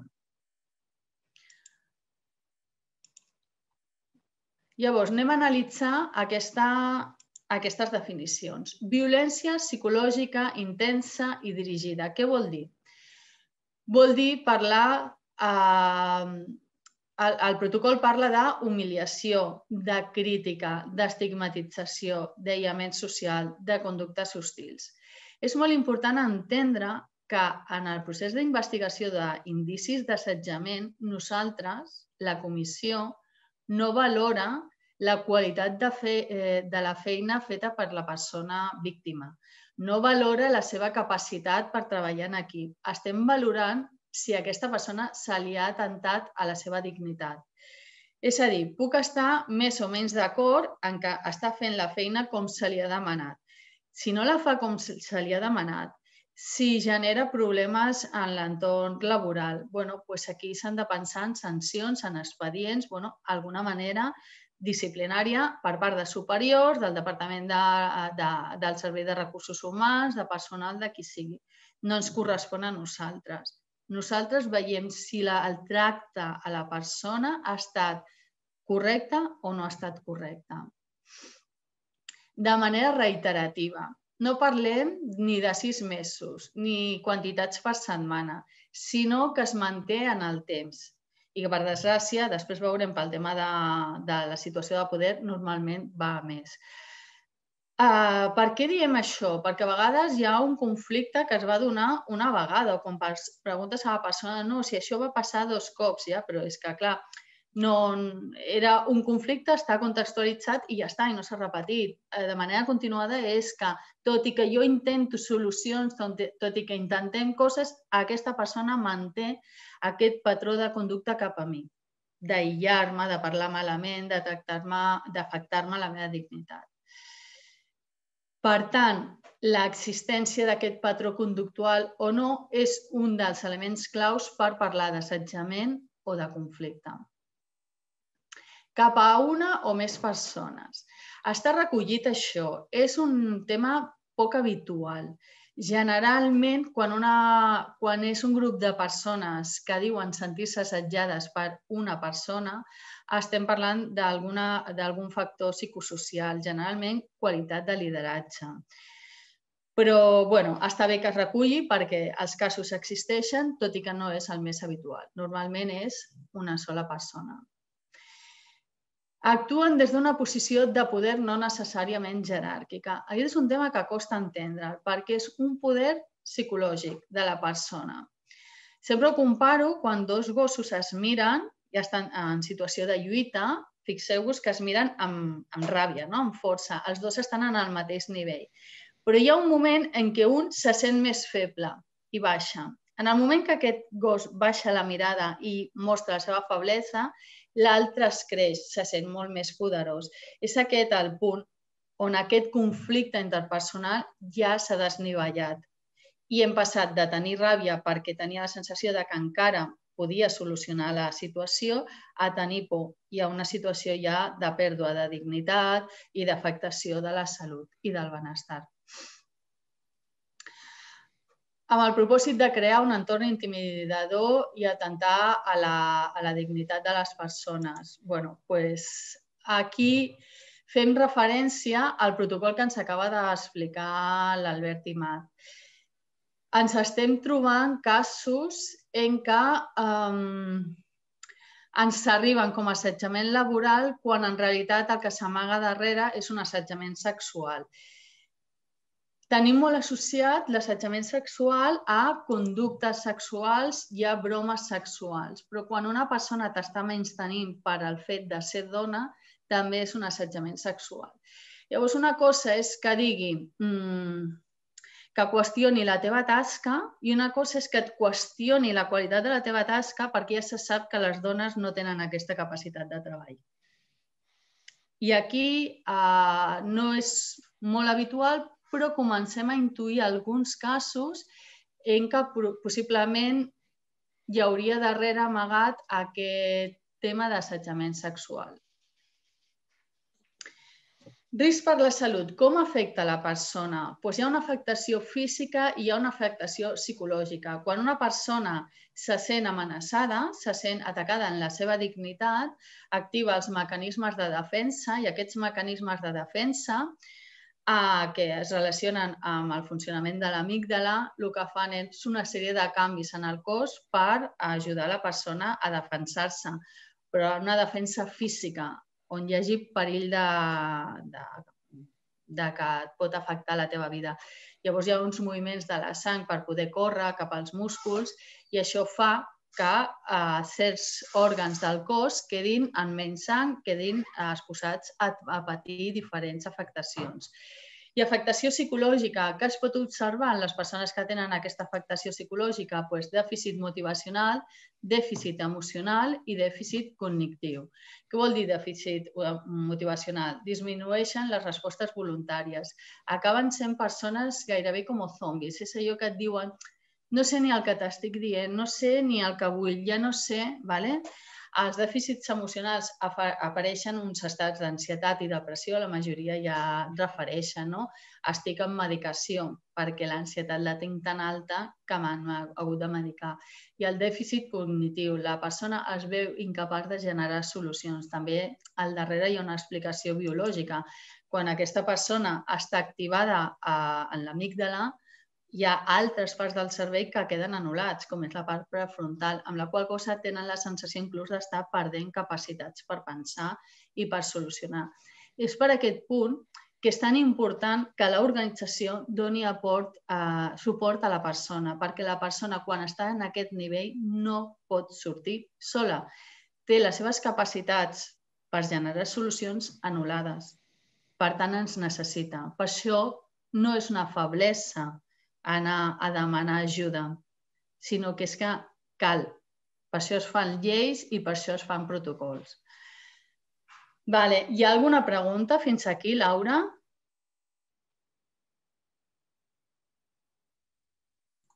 No? Bueno, hi ha alguna petita... Se'm sent? Sí. Hi ha alguna petita observació. Digues. Diu, disculpeu, però no és el mateix assetjament sexual que per raó de sexe. Vale.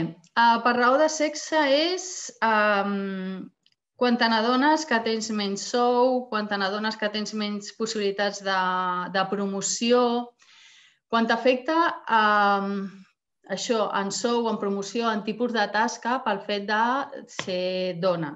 La maternitat, les hores que li dediques... Tal. Però quan és comentaris com... Mm, a veure... Es que son comentarios tan bestias, como ya está la foca aquí comiendo todo el día, nunca la encuentras en su puesto de trabajo. Per exemple, això és assetjament sexual. Si atenem a les definicions de, que hi ha als protocols, assetja, això no seria assetjament per raó de sexe, sinó assetjament sexual. Albert, què opines? que tu tens més currat aquest tema. Estàs, estàs sense veu. Sí, gràcies. Eh, sí, jo estic d'acord. Eh? L'assetjament per raó de sexe tindria a veure amb una... Seria una, una discriminació a l'hora d'accedir a llocs de treball, a l'hora de promocionar, a l'hora d'accedir a formació, a l'hora d'accedir a una retribució idèntica a la d'un home, és a dir, seria una forma de discriminació. Eh? En canvi, determinats comentaris, com els que acaba de, de dir l'Alicia, estarien dins de l'àmbit de l'assetjament sexual, entenc jo. Gràcies. És que, per exemple, és tradicional dir que nosaltres tenim un cervell més inestable per tema d'hormones i tal, i se'ns qüestiona amb més freqüència. O sigui, tu fas un error, bueno, ja se sap, és dona. Ho fa un home, és, és atzar. Mira, s'han donat les circumstàncies. Llavors, és filar prim, és generar, visualitzar aquestes diferències i això és assetjament sexual. Hem d'anar en compte. Nosaltres ara ens estem adonant que hi ha casos que darrere, molt finament, podria haver-hi un assetjament sexual. Vale, diferència entre... Hi ha alguna altra coseta, eh? Digue'm, Diu que com es podria demostrar la intencionalitat. depèn dels casos. Depèn dels casos. Hi ha casos que ho veus. Ho de... O sigui, clar, sense les dues persones, sense els testimonis, ja veurem després en els perfils que, mm, que de vegades no, no, no hi havia una intencionalitat, simplement s'ha anat enredant la situació i ningú ha posat fi. De tota manera, la intencionalitat ja hem vist que és un agreujant, però no és definitori. La majoria dels casos es detecta indicis d'assetjament i no es veu una intencionalitat. Hi ha alguna més, La- Laura? Sí, hi ha una que diu és difícil trobar la frontera entre conflicte interpersonal i assetjament psicològic laboral i quan estem davant d'un problema de relació inter interpersonal, com es resol? Si hi ha una, media una mediació i qui la fa? Vale. En aquesta part la retomo després quan parli de la prevenció, que ja parlaré de que hi ha dos tipus de conflicte, el conflicte de tasca i el conflicte emocional. Um, I aquí s'ha de posar, ja, ja diré inclús, el moment en què s'ha de començar a posar mesures per evitar que passi això. Vale. Hi ha alguna hi, ha una, més? hi ha una última que diu qui té la càrrega de la prova. Entenc que parla de les proves del cas. La persona que denuncia. Així com en el, en el protocol d'assetjament sexual ja ens ha explicat l'Albert que la càrrega de la prova la té la persona denunciada, que ha de demostrar que no hi havia intent, o sigui, que no ha fet cap assetjament. En aquest cas no, és la persona que diu sentir-se assetjada la que ens ha de dir els motius pels quals pensa que se sent assetjada. Hem de veure que en el protocol d'assetjament sexual i per raó de sexes, amb un cop n'hi ha suficient. Vale? Una persona que t'ha dit un insult, que t'ha tocat, que ha fet una agressió sexual, ja és suficient, no cal sistematitzar. En canvi, en el nostre cas, en el cas de l'assetjament laboral, hem de saber distingir entre ma mal ambient, entre conflictes i assetjament. Aquest punt en què passa a ser assetjament després l'explico en la prevenció. I per això la, la persona és la que descriu els fets pels quals considera que està sent assetjada i ha de portar ella les proves. Mails, eh, bueno, testimonis, documentació, el que consideri. Després això es constata amb, amb la persona denunciada i amb els testimonis. Hi ha alguna pregunta més? No, en principi no. Vale, doncs passem al mòdul 3. A com distingim estrès laboral d'assetjament? Vale, l'estrès laboral té el seu origen en l'organització, en els factors psicosocials. No necessàriament hi ha conflicte. Moltes vegades són càrregues de feina perquè no ha estat millor organitzat o perquè hi ha vingut una punta de feina que no s'esperava o perquè haig de treballar en conflicte de rol, no? contra els meus criteris o els meus valors. Eh, I hi ha una certa consciència de quin motiu és el desencadenant i acostumen a saber demanar la solució. O sigui, normalment et diuen el motiu.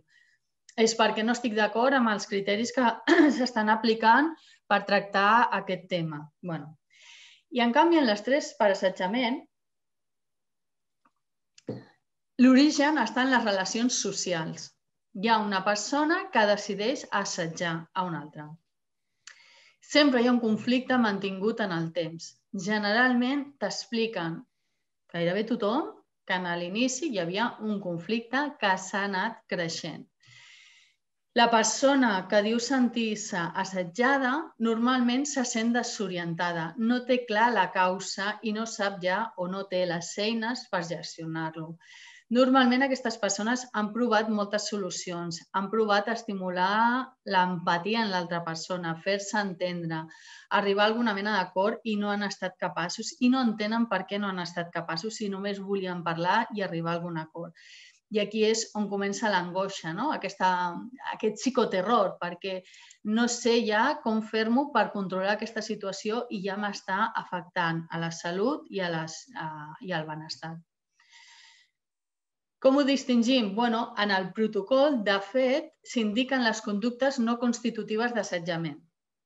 I ens diu les que sí poden ser constitutives i les que no. Si les llegim, veiem que tot és tema organitzatiu. Per exemple, excessiva exigència amb el treball, sobrecàrrega o infracàrrega per mala gestió, una persona pot dir que m'estan posant massa càrrega o que m'han tret les tasques i després si veiem que és per una mala gestió, això és uh, recursos humans, no és un cas d'assetjament. Aïllament derivat de l'activitat del lloc on desenvolupen la feina. bueno, si, és una tele...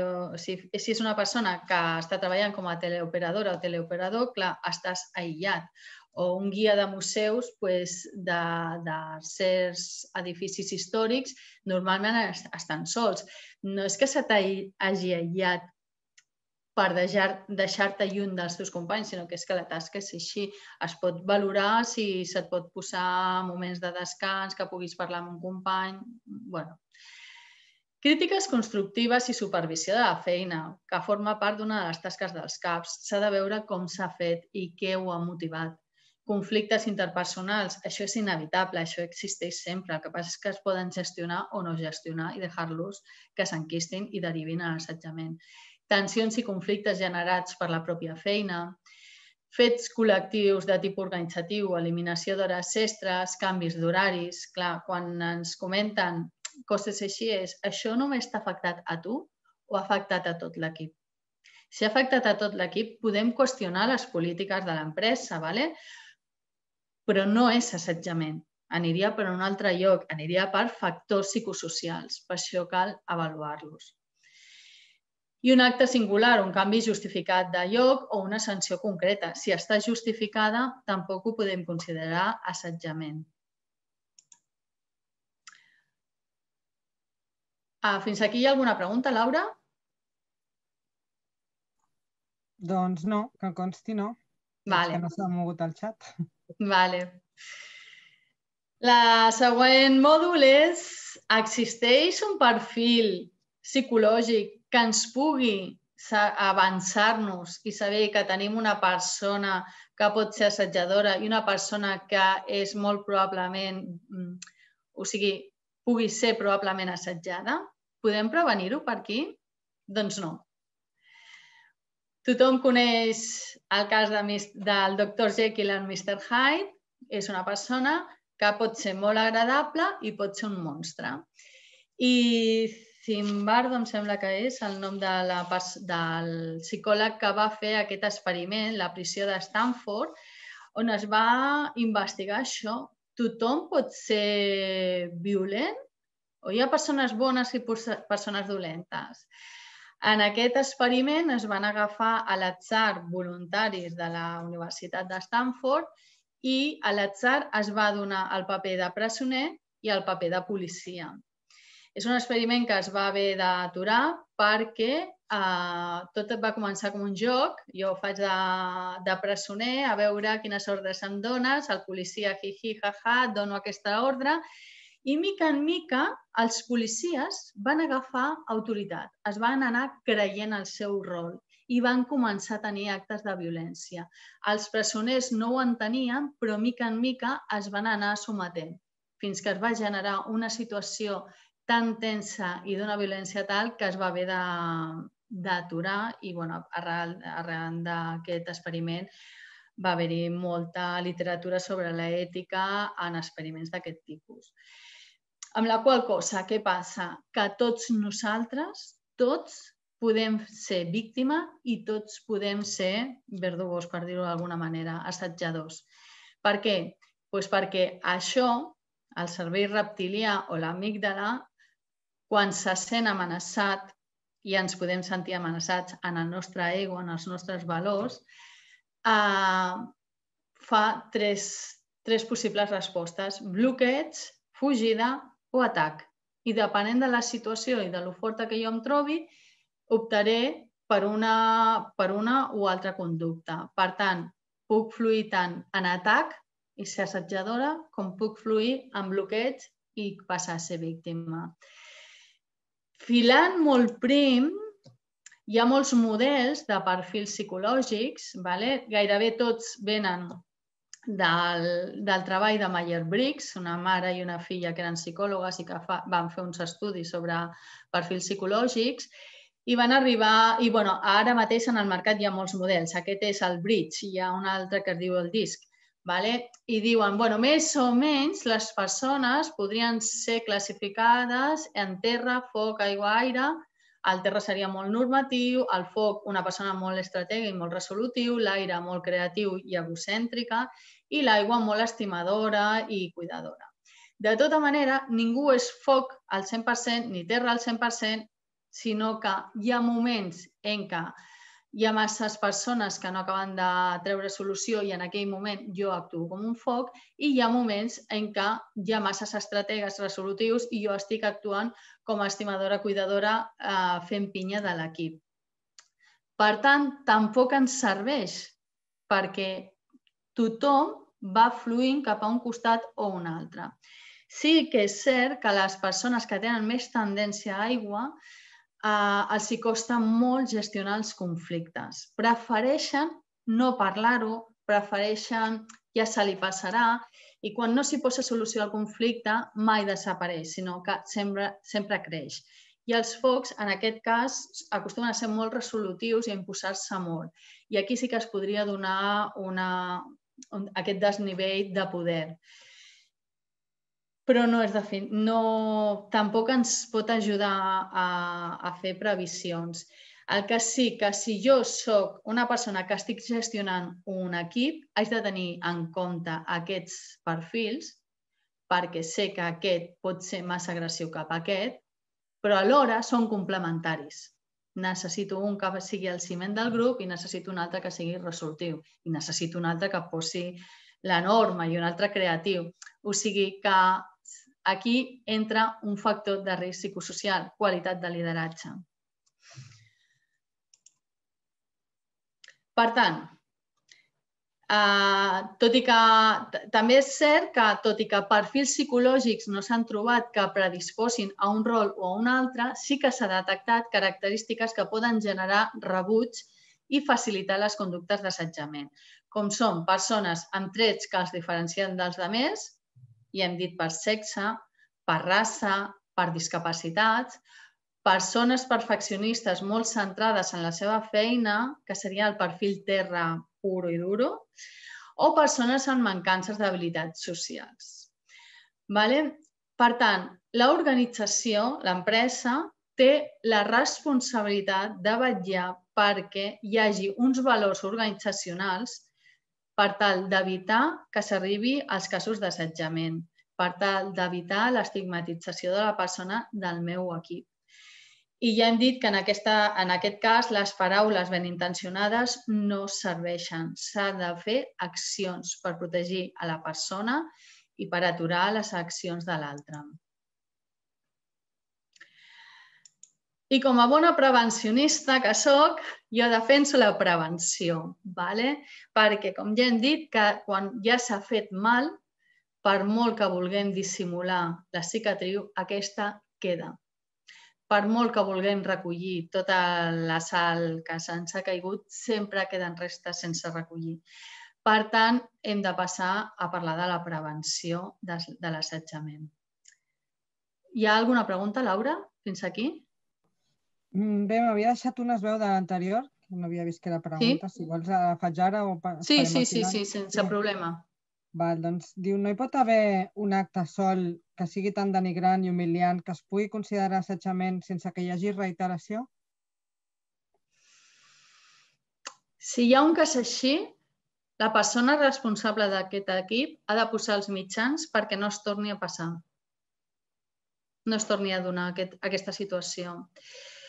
Per una, només una situació seria molt difícil jutjar la persona jutjar aquest comportament d'assetjament. No s'hauria d'haver donat, eh? O sigui, estem en un lloc, ara parlarem de la prevenció, on hi ha uns valors declarats en el protocol. Per tant, no és admissible que ningú parli a ningú faltant el respecte. Es pot parlar de que no estic d'acord amb tu en aquests punts del treball o tinc una altra visió de la feina. Però d'aquí a dir és que no t'enteres de res, és que no, no, no saps ni com fer la teva feina i, bueno, ningunejant, no. Hi ha alguna cosa més? Sí. Digue'm. Diu, "Tre- treure tasques a algú per un conflicte és assetjament o no? Treure? Sí? Digue'm, digue'm. Ah, val. Diu que si treure tasques a algú per un conflicte és, un, és assetjament o no? I qui avalua si està justificat o no? Si hi ha hagut un conflicte i es treuen les tasques, s'hauria de veure si aquesta persona li han explicat els motius pels quals li treuen les feines, si hi ha hagut un canvi organitzatiu o si era perquè consideraven que se li havien donat les eines per fer la feina i pues, no, no està aplicant els criteris. S'ha de donar una explicació sempre respectuosa. No perquè em caus malament, t'ho trec. Sí? Un altre, sí, diu, es pot denunciar amb caràcter retroactiu l'assetjament? Albert, aquí ja no ho sé. Um, a veure, uh, hauríem d'aclarir què entenem per retroactiu. Eh, lògicament, tota sol·licitud, tota denúncia inclou comportaments passats, evidentment. Per tant, eh, podríem dir que totes les sol·licituds tenen caràcter retroactiu, no? Eh, clar, alguna vegada ens ha arribat algun cas d'una persona que ens fa una sol·licitud contra una altra persona amb la que fa, recordo un cas, tres anys que ja no treballa. O Sí. que Hi ha algun cas hem tingut que ja estaven jubilats. Ja estan jubilats, exacte, això anava a dir, no? Ja estan jubilats, fa tres anys que no es veuen perquè no treballen junts.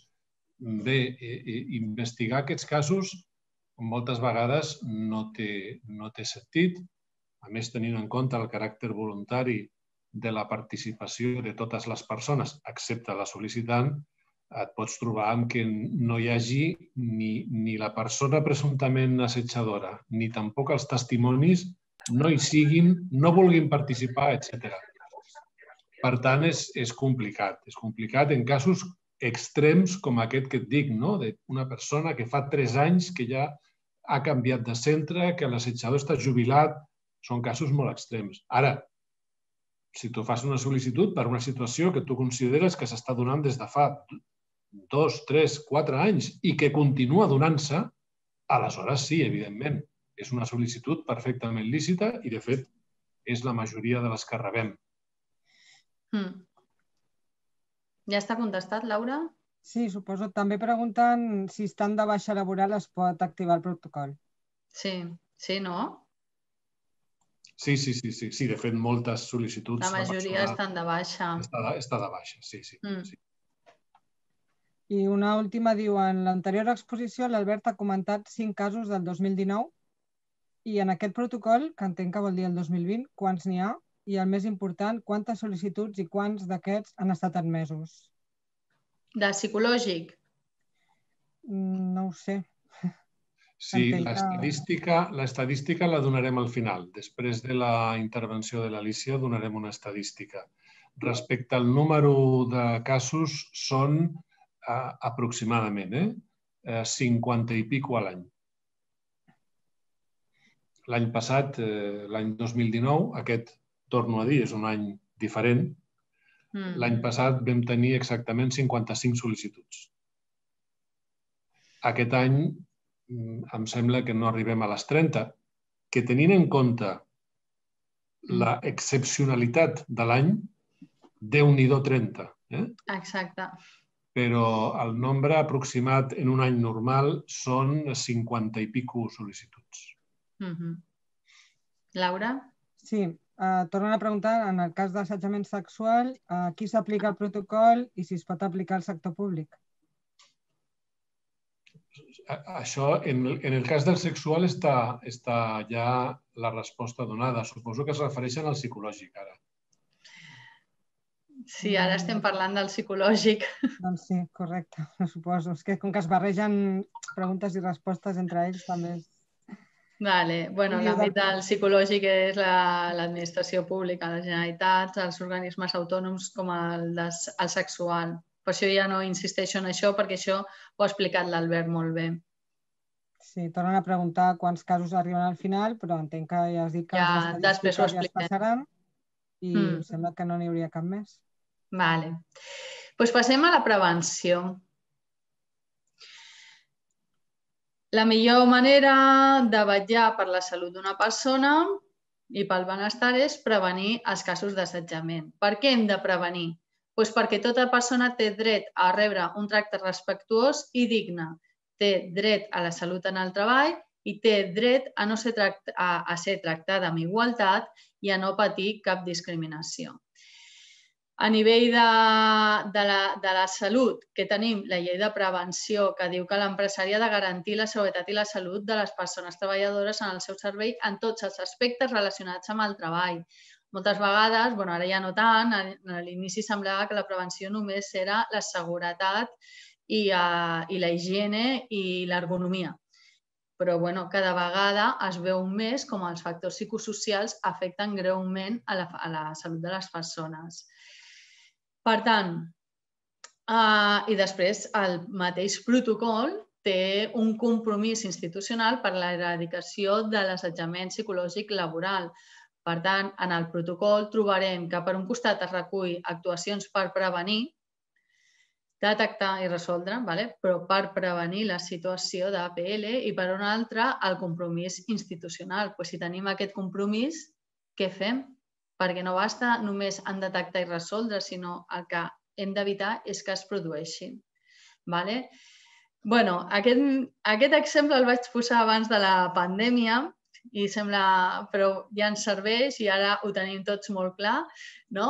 Uh, quan ens plantegem erradicar una malaltia, analitzem els factors, intentem immunitzar mitjançant vacunes i si no és possible immunitzar, pues el que fem és detectar factors per evitar la propagació. Com ho fem en l'àmbit de la prevenció i de riscos psicosocials? Pues avaluant, aplicant les mesures correctores que se'n deriven de l'avaluació o mesures preventives i fent un, un seguiment d'aquestes mesures preventives, cosa que en molts, moltes vegades no es fa. I quan arriben els casos de possible assetjament, et trobes que ja s'havia fet una avaluació i que aquelles mesures preventives acordades no s'han aplicat o no s'ha fet el seguiment, no se sap si funcionaven o no. Informar i formar en drets i obligacions. Per molt nerviosa que em posi una persona, jo no sóc qui per cridar-li, per faltar-li el respecte. Haig de centrar-me en temes laborals. Per què em poso nerviosa? Perquè necessito que el dia tal tingui la, la tasca feta Llavors, parla de la teva necessitat. I la persona que gestiona aquest equip ha de vetllar perquè es parli de necessitats i solucions, de gestió, no de, uh, del conflicte aquest emocional.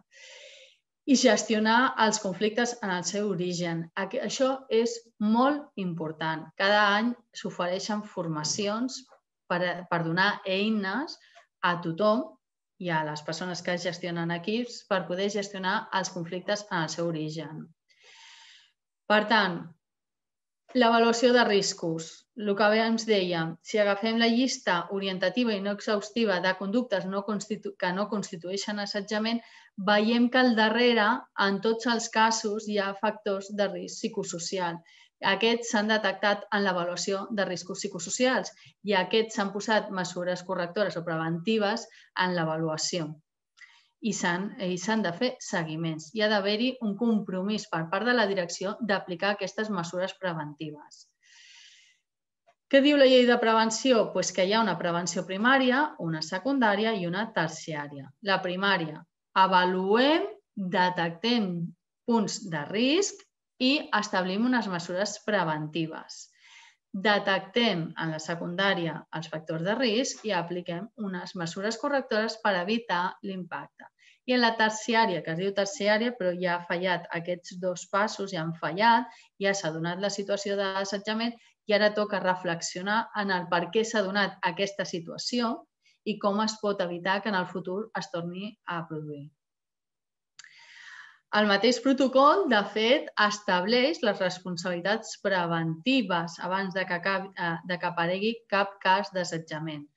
Diu les responsabilitats de secretari general, dels directors de servei, i de les unitats directives, per tal de vetllar per a la millora contínua, informar sobre els drets que emparen a les persones, reduir o eliminar els factors de risc, etc. Actuacions preventives que proposa el protocol, l'elaboració d'estratègies de sensibilització, planificar formació específica a tots els nivells jeràrquics, que ja és el que es fa cada any, difondre informació a través de la intranet i altres mitjans de comunicació, que també a l'ATRI trobareu la informació, elaborar estudis per conèixer la incidència d'aquest tipus de conducta, que són les estadístiques que després l'Albert Imat us exposarà, saber pues, dades com les que abans dèiem associades a l'assetjament sexual, no? incapacitat temporal, augment d'absentisme, problemes disciplinaris, augment de sol·licitud de canvi de lloc de treball, Habilitar recursos diversificats per la resolució precoç de situacions que poden afavorir, afavorir l'aparició de l'assetjament. Realitzar actualitzar les avaluacions de riscos psicosocials, perquè hi ha llocs on s'ha fet una vegada i no s'ha tornat a fer, doncs s'han d'anar actualitzant, possibilitar, la identificació precoç de conflictes i establir mecanismes d'intervenció o mediació per ús dels comandaments. Llavors, donat que no hi ha un perfil clar de, que ens pugui donar a entendre que aquí hi haurà en poc temps una situació d'assetjament, hem d'anar a, a l'organització. Vale? Què premia l'organització? Una empresa que premia la competitivitat facilita l'assetjament. Una empresa que potencia el treball en equip evita l'assetjament. Per tant, quan ens hem de plantejar la prevenció, hem de pensar en els valors de l'organització. A què estic donant més importància? haig de plantejar-me quins mitjans facilito jo per la gestió dels conflictes, perquè és inherent a la relació interpersonal. Sempre hi haurà conflictes, però hi ha conflictes destructius i conflictes que generen solucions i ens ajuden a créixer. I l'organització del treball, que aquí tindríem els factors psicosocials. Vale. A les fases de desenvolupament del, de l'assetjament, doncs com ja hem dit repetidament, hi ha una fase de conflicte i si això no se soluciona, no en tots els casos, afortunadament, però si això no se soluciona i va avançant, arribem a l'assetjament. La fase d'intervenció des de l'empresa, que en aquest cas seria des de la direcció o des del protocol, i segons com es resolgui, la persona, la revictimització de la persona si es diu que no hi ha indicis d'assetjament, què passa? Després ho veurem. Què passa per evitar aquesta fase de marginació o d'exclusió de la vida laboral. Quan és d'actuar? Pues des de la primera guspira. Quan jo tinc una situació desagradable, perquè una cosa és que estiguem parlant de diferents criteris laborals, una cosa és que estiguem parlant de diferents punts de vista i una altra cosa és que hi hagi de darrere una lluita d'egos. Que jo estigui pensant sempre tu has de tenir la raó, Marisa Vidilla, i coses així. Llavors és quan, en aquest cas, ja és un lloc on s'han de posar els límits. Vale? Tot i que pugui semblar-nos anecdòtic, un conflicte important ja s'ha d'aclarir els límits. Es poden discutir temes de feina, però mai faltar el respecte a la persona. La segona vegada que es torna a donar gairebé el mateix patró del, del conflicte, ja estem marcant una tendència. Per tant, es recomana recordar lo anterior i informar de les actuacions si es torna a repetir.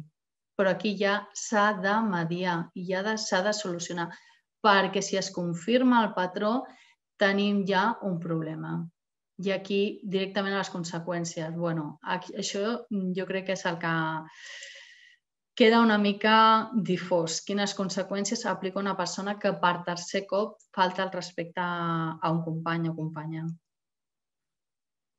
És important, davant d'un conflicte, saber distingir què forma part del conflicte de tasques i què forma part del conflicte emocional.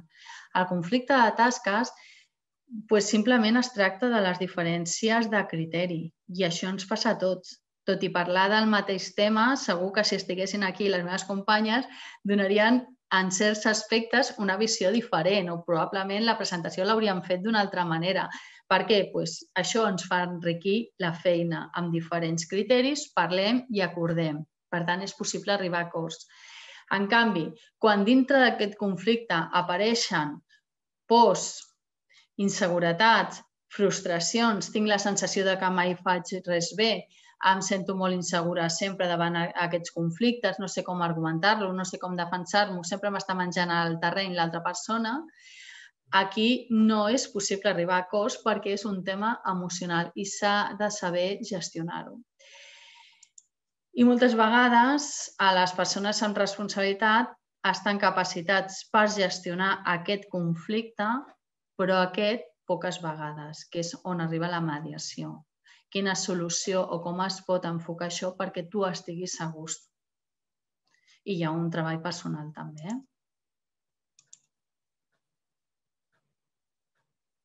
Per tant, davant d'un conflicte cal repassar els factors psicosocials, per què s'ha generat el conflicte? Perquè m'estic queixant que no tinc feina o que tinc massa? Potser cal fer una revisió del repartiment de tasques. La comunicació dintre de l'equip és correcta? Hi ha una manera de comunicar-nos fluida? Es busca culpables o es busquen causes? Podem arribar a solucions? S'informa adequadament a cada persona de les seves responsabilitats? A vegades el conflicte ve per claretat de rol, perquè tenim dues o tres persones fent la mateixa tasca perquè la jerarquia o l'organigrama l'organigrama no està ben definit i no està clar que pertany a una persona o una altra. D'això ja m'he trobat dues persones que no està clar el límit. I la persona responsable arriba i dir qui vol fer aquesta tasca? Clar, què fas? No l'agafes i, i llavors ets tildat de que m'has que ajuda a fer feina o l'agafo i llavors soc tildat de que tinc afant de protagonisme? En el fons, estan dues persones allà confrontades per un tema emocional, però ve de que la persona responsable no ha organitzat bé la feina, la repartició de tasques, les responsabilitats de cadascú. Per tant, tornem a factors de risc psicosocial. Per tant, eh, què cal tenir molt clar davant dels conflictes? Que no es pot permetre mai la crítica ni la discussió agressiva. Cal centrar la discussió en la solució. Bueno, i entrem a punt d'entrar al funcionament del protocol. Laura, tenim preguntes fins aquí? Sí.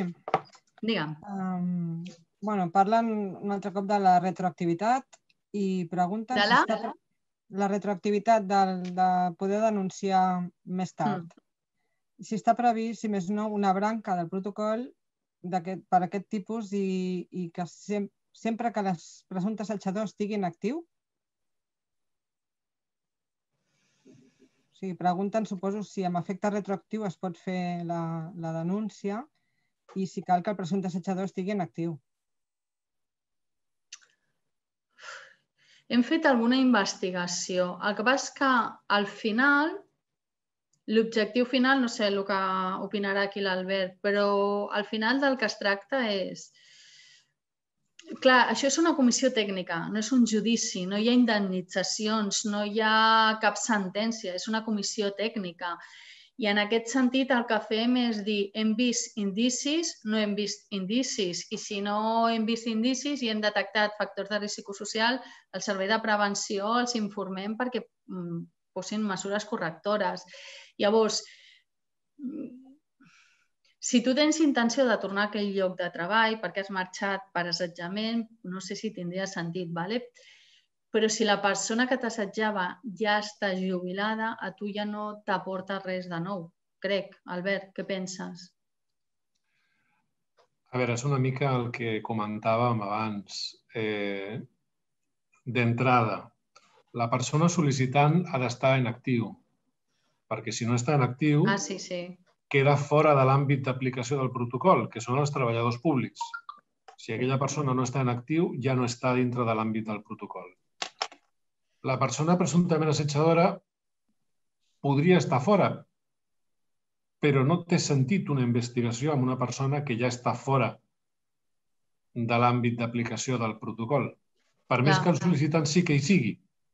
Si la persona presumptament assetjadora ja no hi és, no hi haurà mesures de caire psicosocial, no hi haurà eh, mesures disciplinàries, no tindria massa sentit. No aporta gaire.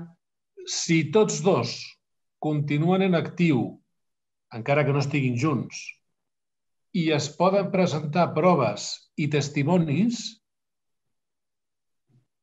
cas per cas es podria analitzar si és convenient iniciar una investigació o si la investigació el que farà serà crear un conflicte.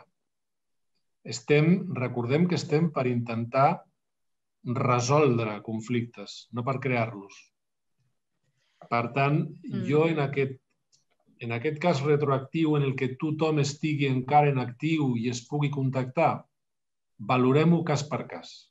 Sí, exacte. Ens pots fer un mail, bueno, no sé, a l'Albert o, o a l'Institut Català de Seguretat i Salut Laboral i valorem, perquè clar, amb aquesta poca informació i tampoc aquí és el lloc de donar més detalls.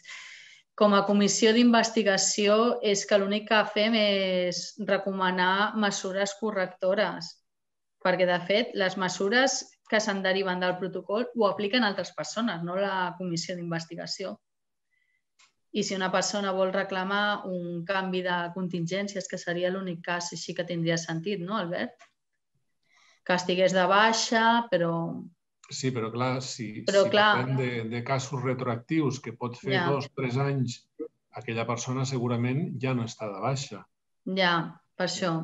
Vull dir, s'hauria d'analitzar cas per sí, cas. Sí, no, sí. no es pot generalitzar. Sí, perquè el que hem de tenir clar és que això és una comissió tècnica.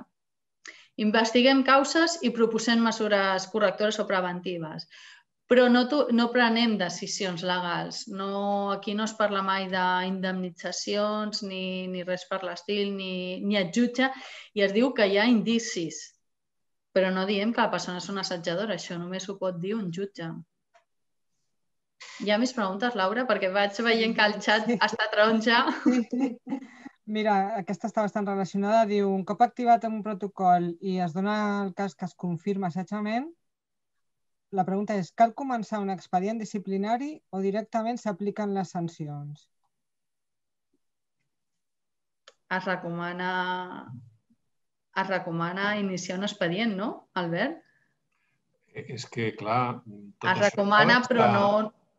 Està regulat. Vull dir, hi ha Exacte. un règim sancionador dels, dels empleats públics i, per tant, el que cal fer és, és aplicar, eh, incoar un expedient disciplinari o bé en aquests moments una informació reservada, eh, en realitat seria l'inrevés, una informació reservada i posteriorment un expedient disciplinari o directament l'expedient disciplinari i d'aquí, d'acord amb la normativa, es podrien derivar unes sancions que estan tipificades a la norma que ho regula i, i ja està. Gràcies. Ah, Laura? Sí, uh, aquesta no sé si l'acabo d'entendre, diu, si el responsable màxim del teu servei, entenc que la persona afectada, no actua o s'uneix al conflicte, què passa? Pues que té una responsabilitat. Anem aquí. Una altra pregunta en el mateix sentit parla si l'assetjador té un escut polític. En el protocol estan aquestes responsabilitats. Té una responsabilitat. De fet, quan Inspecció de Treball investiga, sempre és... La pregunta és, hi havia algú més coneixedor d'aquesta situació d'assetjament? Sí. I quan porta aquesta situació d'assetjament? 3, 4 anys. I tothom era coneixedor i ho han permès? Doncs qui ho ha permès té una responsabilitat. No davant de la comissió, potser, perquè ja hem dit que nosaltres no, no establim les responsabilitats, sinó que fem recomanacions i les tornem al departament, que és qui ha d'aplicar les mesures que, que consideri. Però davant d'un jutge tindrien una responsabilitat perquè la llei diu que el màxim responsable d'aquella organització és responsable de les coses que passen al seu centre de treball. O sigui, si una persona s'ha caigut d'un edifici per manca de seguretat, eh, la culpa és de l'empresari. Pues aquí amb l'assetjament també. Tu tens obligació d'insistir en l'obligació de tothom de respectar-nos, de posar les mesures adequades perquè no hi hagi conflictes, ja hem dit que de tasques n'hi haurà, però no conflictes interpersonals. I has de vetllar per, per, per això, perquè hi hagi un bon ambient de, de cura i de respecte cap a les persones. Com es pot reclamar això? Dintre l'administració, aquí ja em perdo, però que tenen una responsabilitat segur i en el protocol està recollit. Alguna pregunta més, Laura? Sí, sí, n'hi ha bastantes. ja m'imagino. Quan hi ha hagut un cas d'assetjament provat, a part de la prevenció, hi ha algun tipus d'avaluació per millorar la comunicació, sobretot si hi ha diverses administracions públiques i alguna empresa externa? Uf, aquesta pregunta em sembla que hi ha molta informació darrere que, sí. que complica la situació es fan els contractes de coordinació empresarial i en aquests contractes de coordinació empresarial es parla dels protocols i es parla del compromís d'erradicació de l'assetjament. Abans ho ha dit l'Albert amb l'assetjament sexual i per raó de sexe i en el nostre cas d'assetjament laboral el mateix. Ja s'acorda i s'acorden les maneres en què això es gestionarà. Llavors, l'únic que puc dir-li és que si vol informació més concreta, pues, a la feina Cap Risc, ja al final, al final del nostre web hi ha un lloc que posa consultes que faci la consulta més acurada en més detall. Hi ha alguna més? Sí, diu com i qui du a terme tasques de mediació quan es conclou que estem davant d'un conflicte interpersonal. Això cada departament ho gestiona a la seva manera. El que s'està ja... El més habitual és que el responsable d'aquell equip faci aquesta mediació i ho gestioni. I si se li va de les mans, passi a recursos humans. Com bé ha dit l'Albert, hi ha algun departament o hi ha hagut alguns casos que tenien un contracte a, amb el Col·legi de Psicologia, algun servei extern per fer mediació. Deixa'm, deixa'm, eh? deixa'm, afegir, deixa'm afegir una cosa i és que eh, un, cop, un cop fetes les, i aprovades les modificacions del protocol d'assetjament psicològic, eh, tenim la intenció de eh, reemprendre, perquè ja s'havia ja s'havia treballat el tema, eh, un protocol sobre resolució de conflictes que desenvoluparà el tema de la mediació. Mm? Per això és un projecte de, de futur. Mm. Laura. Veig, veig moltes observacions, opinions, que potser us podeu llegir després al xat, perquè no són purament preguntes. I que hi ha una que diu quines proves s'aporten si majoritàriament l'assetjament és subtil o indirecte. No és una pròpia pregunta, però... Normalment agafem la, el full que hi ha en el mateix protocol de conductes que es consideren assetjament. Llavors, a les entrevistes es va preguntant a la persona per detectar si hi ha factors psicosocials o hi ha conductes que siguin possible assetjament. Uh, I això es contrasta amb testimonis. La documentació bueno, documentació sí que porten, eh? Les persones, mails, cartes, de vegades sí que són capaços de portar proves. Que no s'hagin provat, no s'hagi pogut provar indicis no vol dir que no hi, ha, no hi sigui. Eh? Sempre es proposen mesures correctores perquè està clar que una situació com a mínim conflictiva hi, hi ha hagut. Mira, la següent pregunta per aquí, perquè diu què passa quan el protocol determina que no hi ha indicis respecte a la persona presumptament assetjada? Sí, això ara arribem. Sí. Sempre es fa alguna cosa.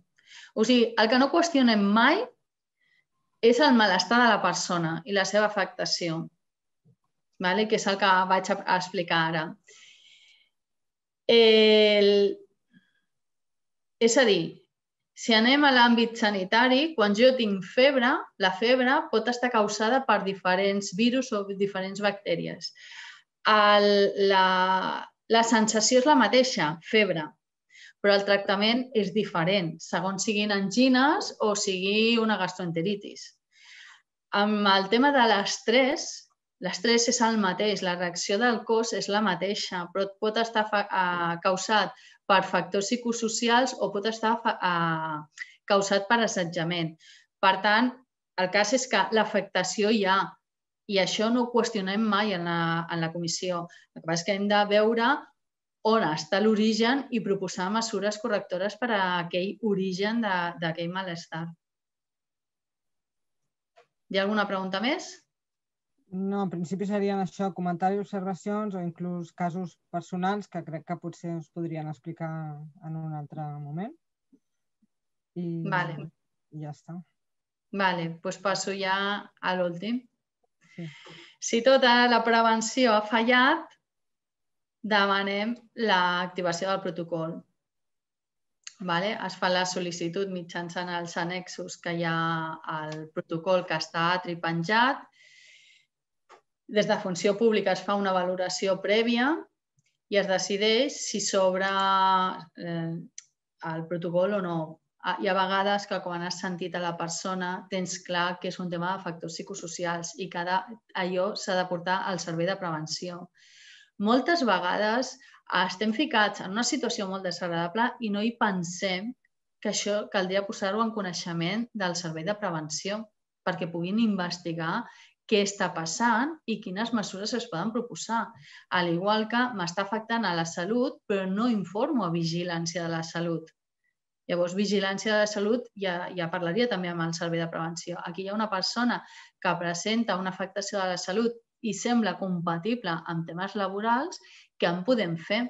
Llavors s'inicia una investigació i probablement aquí podríem aturar-ho però es deixa fer, es deixa fer fins que la persona ja no aguanta més i quan ens arriben a nosaltres ja venen destrossades.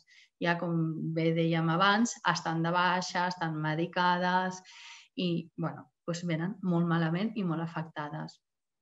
Es constitueix, quan ja decidim que pot ser una situació d'assetjament, des de Funció Pública es posen en contacte amb els diferents membres de la comissió i es constitueix aquesta comissió. Aquesta comissió està eh, formada per personal tècnic d'ergonomia i, eh, i psicosocials de la Direcció General de Funció Pública, personal tècnic de l'Institut Català de Seguretat i Salut Laboral, que en aquest cas sóc jo, i personal tècnic del Servei de Prevenció i de Vigilància de Salut del Departament afectat.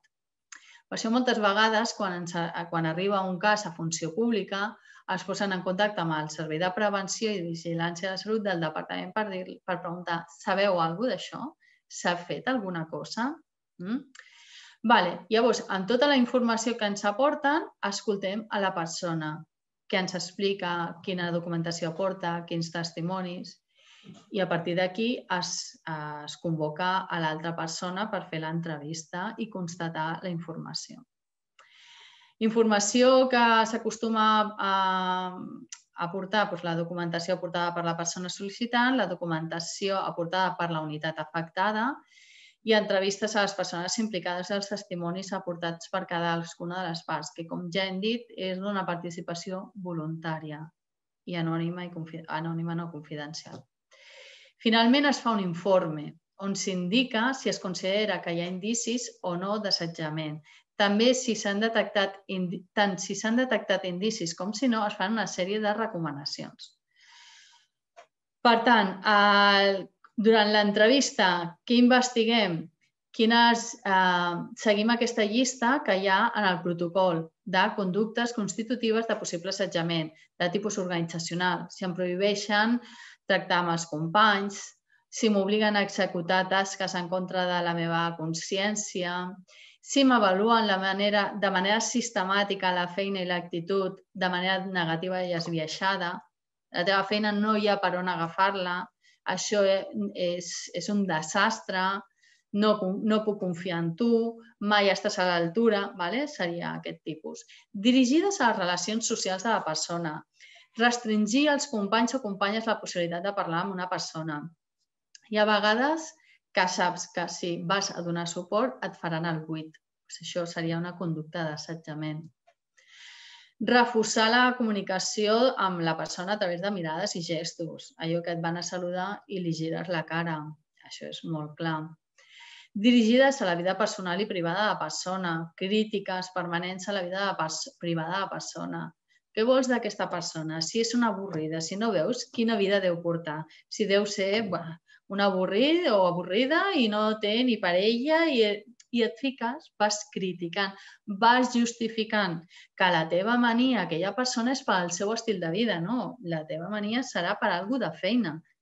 Digue'ns què et molesta en relació a la feina què és el que necessites en relació a la feina. No ho justifiquis amb com aquesta persona viu o deixa de viure. Dirigides a les actituds de la persona. Atacar les... bueno, és semblant al de l'anterior, eh? actitud, creences, sistemes de valors i conductes de violència física i verbal. Maltractaments físics, amenaces de violència física, fer ostentació de força muscular, bueno, cridar, insultar, passar per darrere la persona i fer comentaris eh, com de tercera persona, però fent mofa. Mm? Les entrevistes a les persones implicades, pues, al igual que en l'altre protocol d'assetjament sexual o per raó de sexe, aquí la persona pot anar acompanyada per la família, persona de confiança, delegats de prevenció, representants dels treballadors, a la persona assetjada, presumptament assetjada, se li fa una entrevista semidirigida, vale? se li pregunta de tot l'entorn laboral, va, continuem buscant factors de risc psicosocial i després preguntem sobre les conductes que aquesta persona ens ha dit que són les que li han portat a tenir la sensació, la vivència de que està sent assetjada. Li demanem tots els detalls per poder fer aquesta entrevista a la persona presumptament assetjadora que per tal de que pugui rebatre aquestes acusacions i pugui aportar les proves o testimonis que consideri adients. L'entrevista a altres membres de la unitat, testimonis i persones amb responsabilitat sobre les parts implicades és de caràcter voluntari. L'objectiu sempre és recollir la informació sobre els factors de risc psicosocial, constatar la informació aportada per les parts, etc. Aquí, què hem de valorar durant l'entrevista? Pues, quina documentació ens ha aportat, les testimonis, si hi ha distorsions cognitives. Aquests, uh, això es refereix, per exemple, és que em canvia dades importants dels meus informes. Quantes vegades ha passat això? Això passa sempre, passa sovint i quan comences a preguntar potser te n'adones que va ser en un cas molt concret per una contextualització molt concreta. Ressentiments o pors. De vegades hi ha una història darrere que ha portat a aquest conflicte emocional que dèiem o un deteriorament psicològic per motius aliens a la feina. Són poques les vegades, però a vegades mmm, trobes que són persones doncs, que tenen un altre problema que ja porten de base de, de la seva vida personal i que eh, això ha dificultat la relació amb les persones, però no trobem aquest patró de fustigament cap a la persona. Què valorem? Pues el que ja hem dit fins ara, no? la persistència, la repetició, la durada de l'exposició, l'estratègia, aquesta pauta, l'escalada de les conductes, com un es va creixent i l'altra part va perdent aquest poder, no? es va sentint més feble.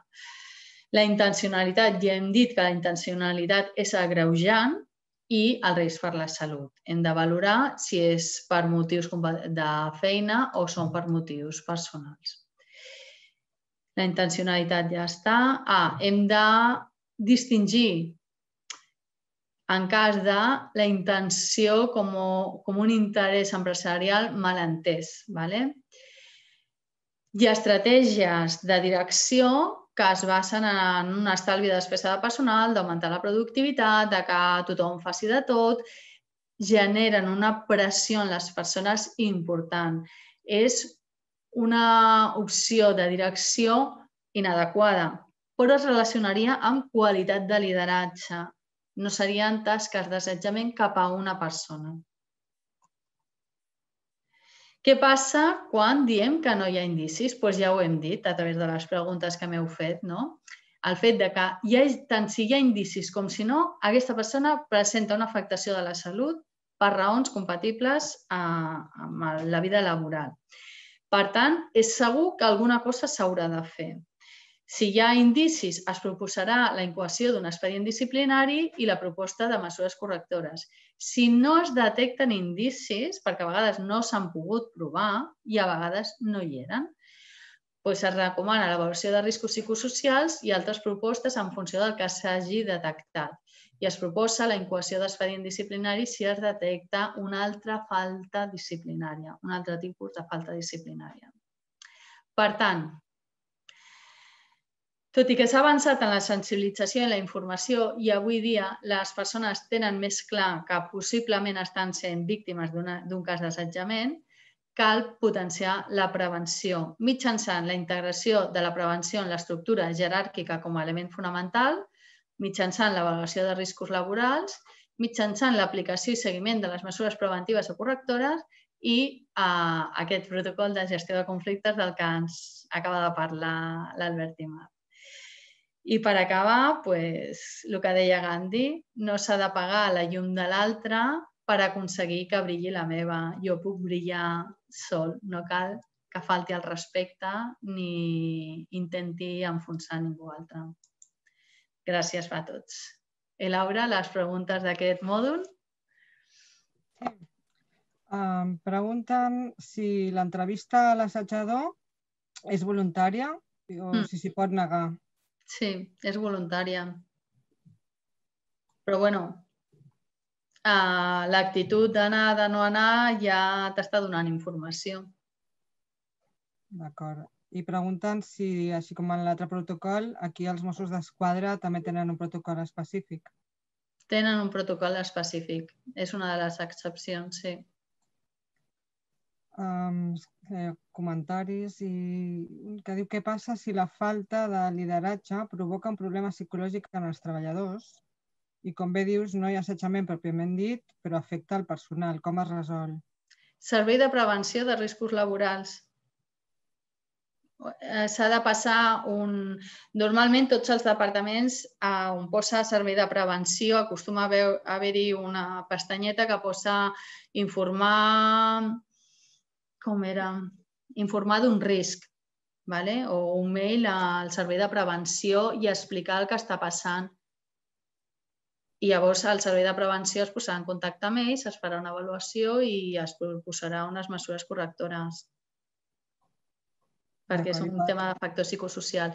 A Mossos, a veure, estem parlant d'un protocol que és de funció pública però jo vinc en nom de l'Institut Català de Seguretat i Salut Laboral. L'Institut Català de Seguretat i Salut Laboral està al servei de totes les persones, no d'un departament concret o no d'una empresa concreta, sinó qualsevol persona que tingui dubtes sobre temes relacionats amb la prevenció de riscos en qualsevol de totes les especialitats que toquem, pot adreçar la seva consulta i l'informarem, li contestarem si és que té dubtes del seu protocol.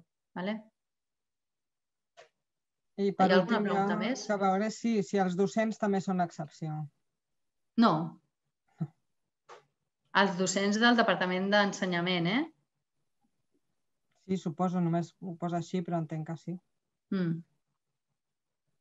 En principi, res més. Com a pregunta, bueno, sí, ara entra una. Es preveu la, possi la possibilitat de forçar la participació d'un testimoni? No. No, no, és voluntari. Doncs... No es pot forçar ningú a donar un testimoni. I acaba d'entrar un altre que potser ja hauríem de deixar. Es contempla l'assetjament comunitari? Això ho he dit a, a l'inici de l'exposició perquè a la definició accepta que pot ser l'assetjament cap a una persona o cap a un col·lectiu. Clar, quan hi ha un col·lectiu, més que assetjament jo parlaria de males maneres i aquí eh, és un comportament inadequat, per tant és, seria sancionable d'alguna manera, algú que tracta de mala, malament a tot l'equip. Jo passaria per factors de risc psicosocial. De fet, bueno, em vaig trobar fa molts anys en un cas dintre l'empresa privada, eh, quan fora de l'administració pública. Era un cas d'una persona que, bueno, aquesta persona ja tenia una malaltia pròpia i l'organització no donava suport ni als companys ni a la persona responsable de l'equip per poder gestionar aquesta situació de manera respectuosa per la persona que tenia la malaltia i per la resta de les persones. I això es va resoldre al final per, per, a través de la, del servei de prevenció. I semblava un assetjament, vale? però no ho era, és que era un altre tema organitzatiu. Hi ha alguna cosa més? Bueno, tornant a l'entrevista de, a l'assetjador, pregunten com continua la investigació en el cas que, que ella no hi vagi. Jo crec que no ens ho hem trobat, no, Albert? Sempre han vingut. No, no ens ho hem trobat, però el protocol ho preveu. Mm. Si la persona presumptament assetjadora no vol assistir a l'entrevista, no assisteix, però eh, nosaltres continuem la investigació. I com tu deies abans, Alicia, eh, home, aquesta negativa ja diu, eh, diu coses sobre el tarannà d'aquesta persona, no? Però, en tot cas, la investigació continua exactament igual. Al final l'objectiu és que hi hagi respecte en el centre de treball, que aquesta persona que està afectada pugui tornar en condicions adequades. És que no fem sentències. Aquest és, aquest és el problema que moltes vegades es confon. Nosaltres no fem sentències judicials. El nostre objectiu és veure per què aquesta persona té aquesta afectació a la salut i proposar mesures perquè aquesta persona pugui tornar al, al seu lloc de treball sense patir per la seva salut. Sí? Bueno, pues si no hi ha més preguntes, aquí acaba la meva exposició. Jo crec que està tot recollit i si no alguna cosa suposo que us ho poden preguntar. Vale. Por, por fi, se puede, es que no me va el chat a mí y no me lo coge los correos. ¿Cómo se puede evitar eh, lo del psicológico? Mira, no me lo cogen. A ver si me puedes contestar, por favor. La prevención es que te pongas en contacto con tu servicio de prevención y expliques lo que está pasando y ellos pueden analizar la situación y proponer unas medidas preventivas y ayudarte. Vale, pues gracias, ¿eh? Nada. Vale, pues si no hi ha res més, jo em desconnecto tot i que segueixo aquí. Vale? Molt bé, gràcies, gràcies Alicia. Moltes gràcies eh, a vosaltres. Tot i, que, tot i que estem una mica ja fora de temps, eh, hi ha una presentació molt curteta eh, estadística molt reduïda i, i per tant us donaré quatre dades i, i amb això ja, ja donarem, donarem la, les nostres intervencions per finalitzades. Uh, a veure si puja.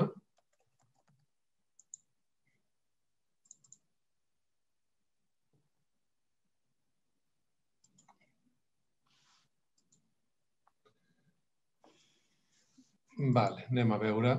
Eh, la Direcció General de Funció Pública va assumir eh, la investigació dels casos d'assetjament psicològic l'any 2015. Eh, abans d'aquesta data, eh, cada departament eh, investigava els seus, els seus casos, les seves sol·licituds, les situacions que es trobava. A partir de 2015, és la Direcció General de Funció Pública qui fa aquestes investigacions amb una comissió en la qual participen, com ja s'ha dit, l'Institut Català de Seguretat i Salut Laboral i el departament afectat. Uh, us porto unes estadístiques que lògicament són a partir de l'any 2015, que és quan Funció Pública comença a gestionar aquest eh, protocol. Eh, l'any 2015 tenim un total de 42 casos. Eh? D'aquests 42 casos s'admeten a tràmit 26 i 16 no s'admeten, perdó, s'admeten a tràmit eh, sí, sí, 26 i no s'admeten a tràmit 16. Per què un cas no s'admet a tràmit? Mm, bàsicament perquè, perquè no pertany a l'àmbit d'aplicació del protocol. Eh? Uh, hi ha una... El protocol preveu una entrevista prèvia amb la persona sol·licitant i en aquesta entrevista prèvia aquesta persona exposa eh, les seves raons, els seus arguments, les conductes que considera que són pròpies d'assetjament, aporta una llista de testimonis i aporta la documentació que considera oportuna. A partir d'aquí, el primer que s'ha de fer és una valoració de si allò que ens està presentant realment indica que mereix la pena, que que realment allà pots arribar a investigar i a treure conclusions o si ja d'entrada no ho pots admetre a tràmit perquè allò no constitueix un, un cas d'assetjament. I deixeu-me que us posi un cas extrem, absolutament extrem, tan extrem que és quasi, quasi caricaturesc, però que, però que jo l'he viscut. I no en la generalitat, eh? No en la generalitat. Una persona que jo conec i que està de, de baixa per malaltia comuna, per un motiu que no té res a veure amb l'assetjament, em diu, escolta, Albert, tu què saps d'aquestes coses? Uh, M'estan assetjant a la feina. Resulta que estic malalt, estic de baixa, i fixa't el que m'han fet. M'han dit que he de tornar al cotxe d'empresa. M'estan assetjant. Evidentment, un cas així que, insisteixo, sembla una caricatura, però és real, un cas així no s'admetria a tràmit. Ha d'haver algun motiu, alguna prova, alguna causa que ens digui que allò ha de ser investigat. Eh, les causes de no admissió a tràmit són, són també variades. No? De vegades és perquè el servei de prevenció eh, està actuant sobre el tema i té la situació ja molt avançada. De vegades és perquè, eh, com dèiem abans, la persona està fora de l'àmbit d'aplicació del protocol. Hi ha diversos motius que fan que un cas no s'admeti a tràmit. Per tant, l'any 2015 es va produir aquesta situació. Eh, 26 admesos a tràmit i 16 no admesos a tràmit. D'aquests casos que es van admetre a, a tràmit, la investigació va donar com a resultat que hi havia indicis en un cas, ara parlarem d'això, eh, que hi havia indicis insuficients en sis casos que allò no era objecte del protocol d'assetjament en set casos i altres motius en dos casos. Què vol dir que hi ha indicis o indicis insuficients? Um, una situació d'assetjament psicològic és una cosa molt seriosa, que inclús té la seva traducció en l'àmbit penal. Eh? I per tant s'ha de demostrar. I és molt difícil de demostrar. Ho entenem, ho entenem, però cal demostrar-ho. I de vegades no tenim suficients proves per demostrar que allò és un cas d'assetjament o que hi ha indicis d'assetjament. Quan nosaltres diem que hi ha indicis d'assetjament és perquè considerem que es reuneixen tots els criteris tècnics i tenim totes les proves necessàries per afirmar que hi ha indicis d'assetjament. I quan els tenim, ho fem.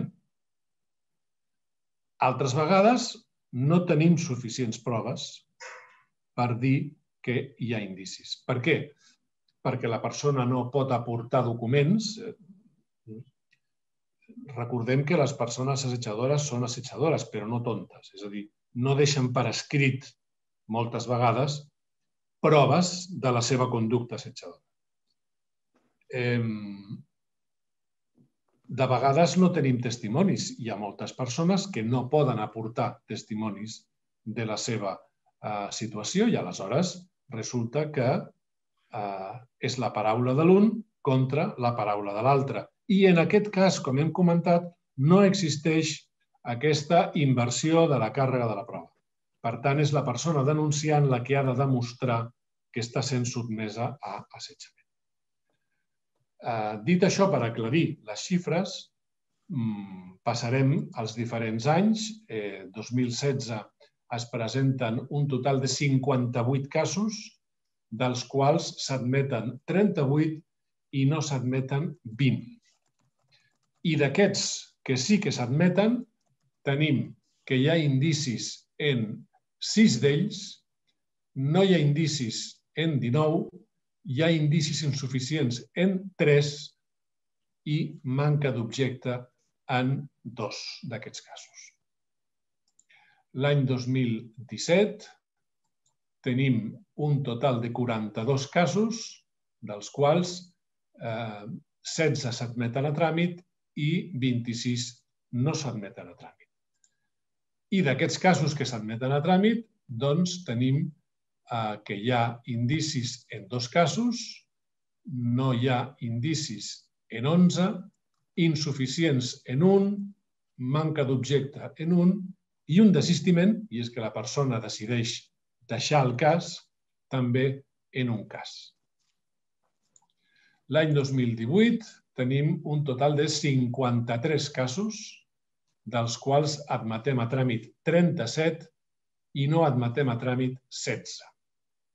I dels que s'admeten a tràmit tenim indicis en 7, indicis insuficients en 3, manca d'objecte en 8 i no hi ha indicis en 7 i altres causes en 3.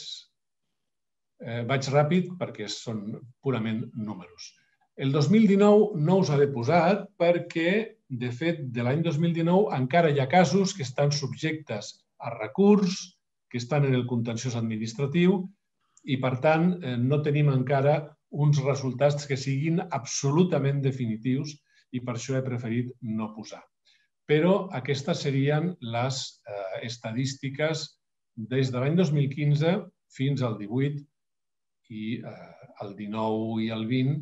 Mm, el 20 és un any absolutament especial i excepcional, però el 2019 no tindrà massa diferències amb la resta. Bé, com que estem fora de temps, eh, acabo aquí aquesta presentació estadística i, Laura, si tens alguna intervenció, alguna pregunta, doncs eh, endavant. Entenc que no, més o menys tothom diu gràcies i, i l'únic que posa és doneu algun cas, si plau, d'exemple d'admissió a tràmit, però no sé ben bé. A, a veure, lògicament eh, hem de guardar una absoluta confidencialitat sobre tots els casos. Clar. Eh, L'admissió a tràmit és simplement rebre la sol·licitud acompanyada d'un relat de les conductes que, que es consideren constitutives d'assetjament. Aquest relat, la veritat és que cada vegada arriba més elaborat, millor elaborat, perquè intervenen els serveis de prevenció, perquè intervenen delegats i delegades de prevenció i, per tant, arriben cada vegada millor. Uh, fem una entrevista prèvia per valorar tot això i si veiem que el tema es pot investigar, s'admet a tràmit i s'investiga. No puc donar dades, eh, evidentment, perquè cal preservar l'absoluta confidencialitat dels casos. Eh,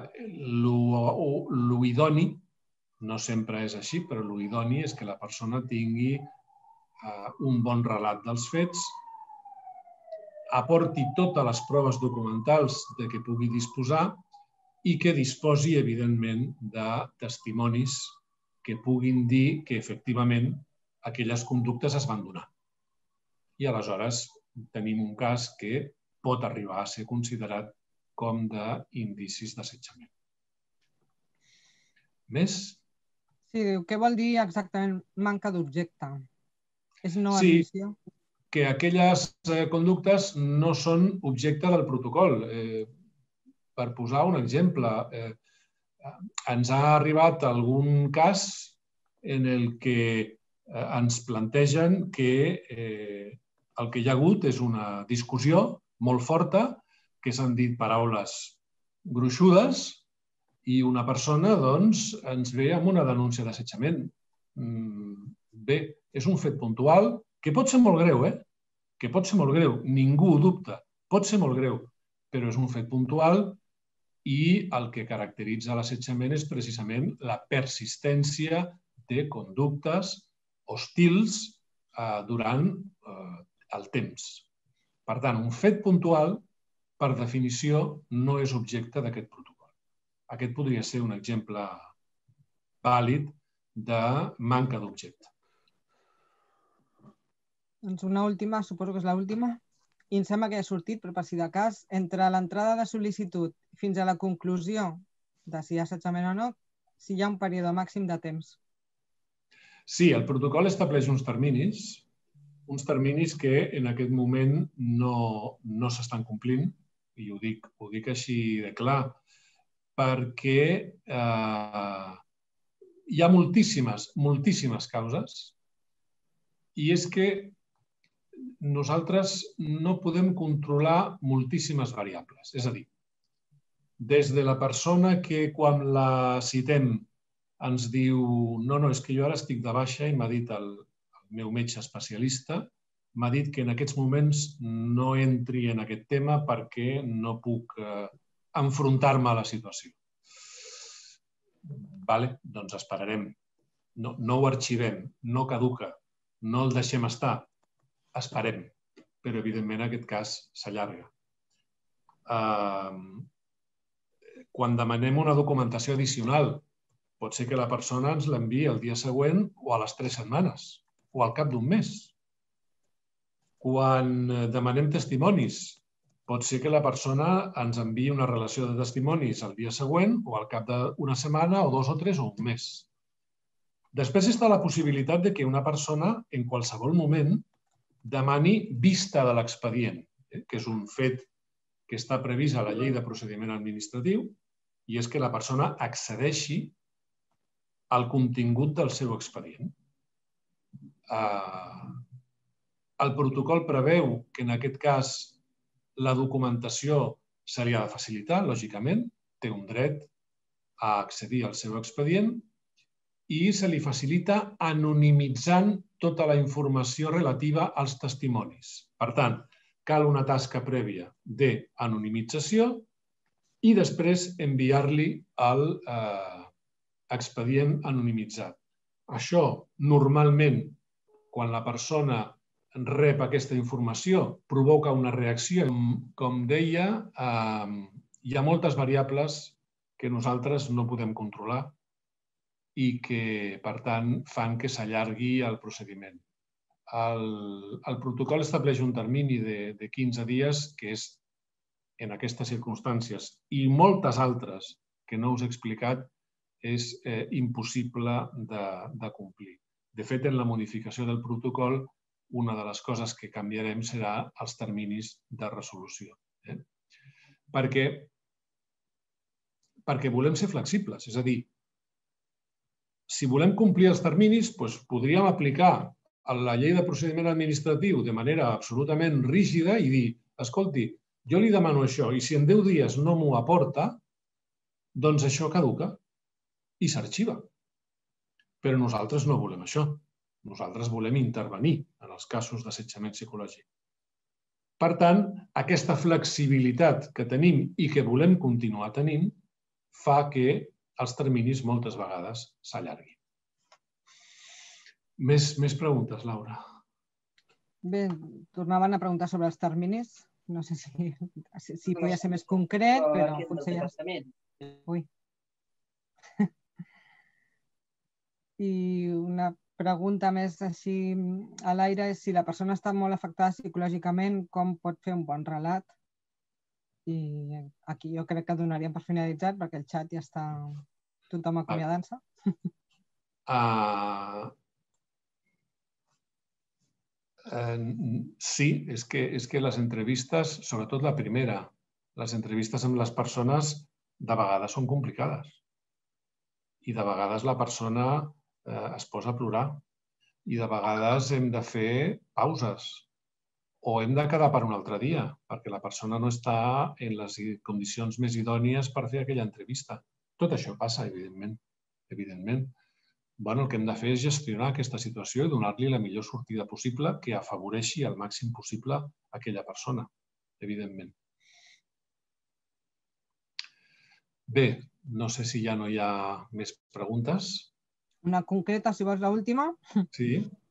Diu si hi ha persones especialitzades, eh, psicòlegs, que puguin acompanyar la víctima. Eh, el suport psicològic que nosaltres recomanem pràcticament sempre, o sempre, independentment de que hi hagi indicis o no, eh, és una competència del Servei de Prevenció de Riscos Laborals, que o bé té un professional de la psicologia propi o bé el pot contractar amb un servei de prevenció aliè. Eh? No, no és una funció de la comissió d'investigació o de funció pública donar aquest suport psicològic, sinó que és el Servei de Prevenció de Riscos Laborals del Departament, ja sigui amb personal propi o amb una contractació externa. Jo diria que ara sí, eh? Molt bé. Doncs, com que ja estem fora de, de temps, eh, simplement agrair a tots els participants eh, que hagin estat aquestes hores amb nosaltres, agrair la molta participació i les moltes preguntes que s'han realitzat i les moltes observacions que ara, amb més calma, eh, analitzarem. I, mm, com he dit al principi, demanar-vos que actueu de eh, missatgers i transmissors de l'existència d'aquests dos protocols, especialment el sexual, que és el més desconegut, perquè aquestes situacions aflorin i es puguin resoldre amb una eina que és eh, aquest, aquests dos protocols que tenim per l'abordatge d'aquestes situacions. Eh, sense més, moltes gràcies per la vostra atenció i fins una altra ocasió. Adéu-siau. Adéu.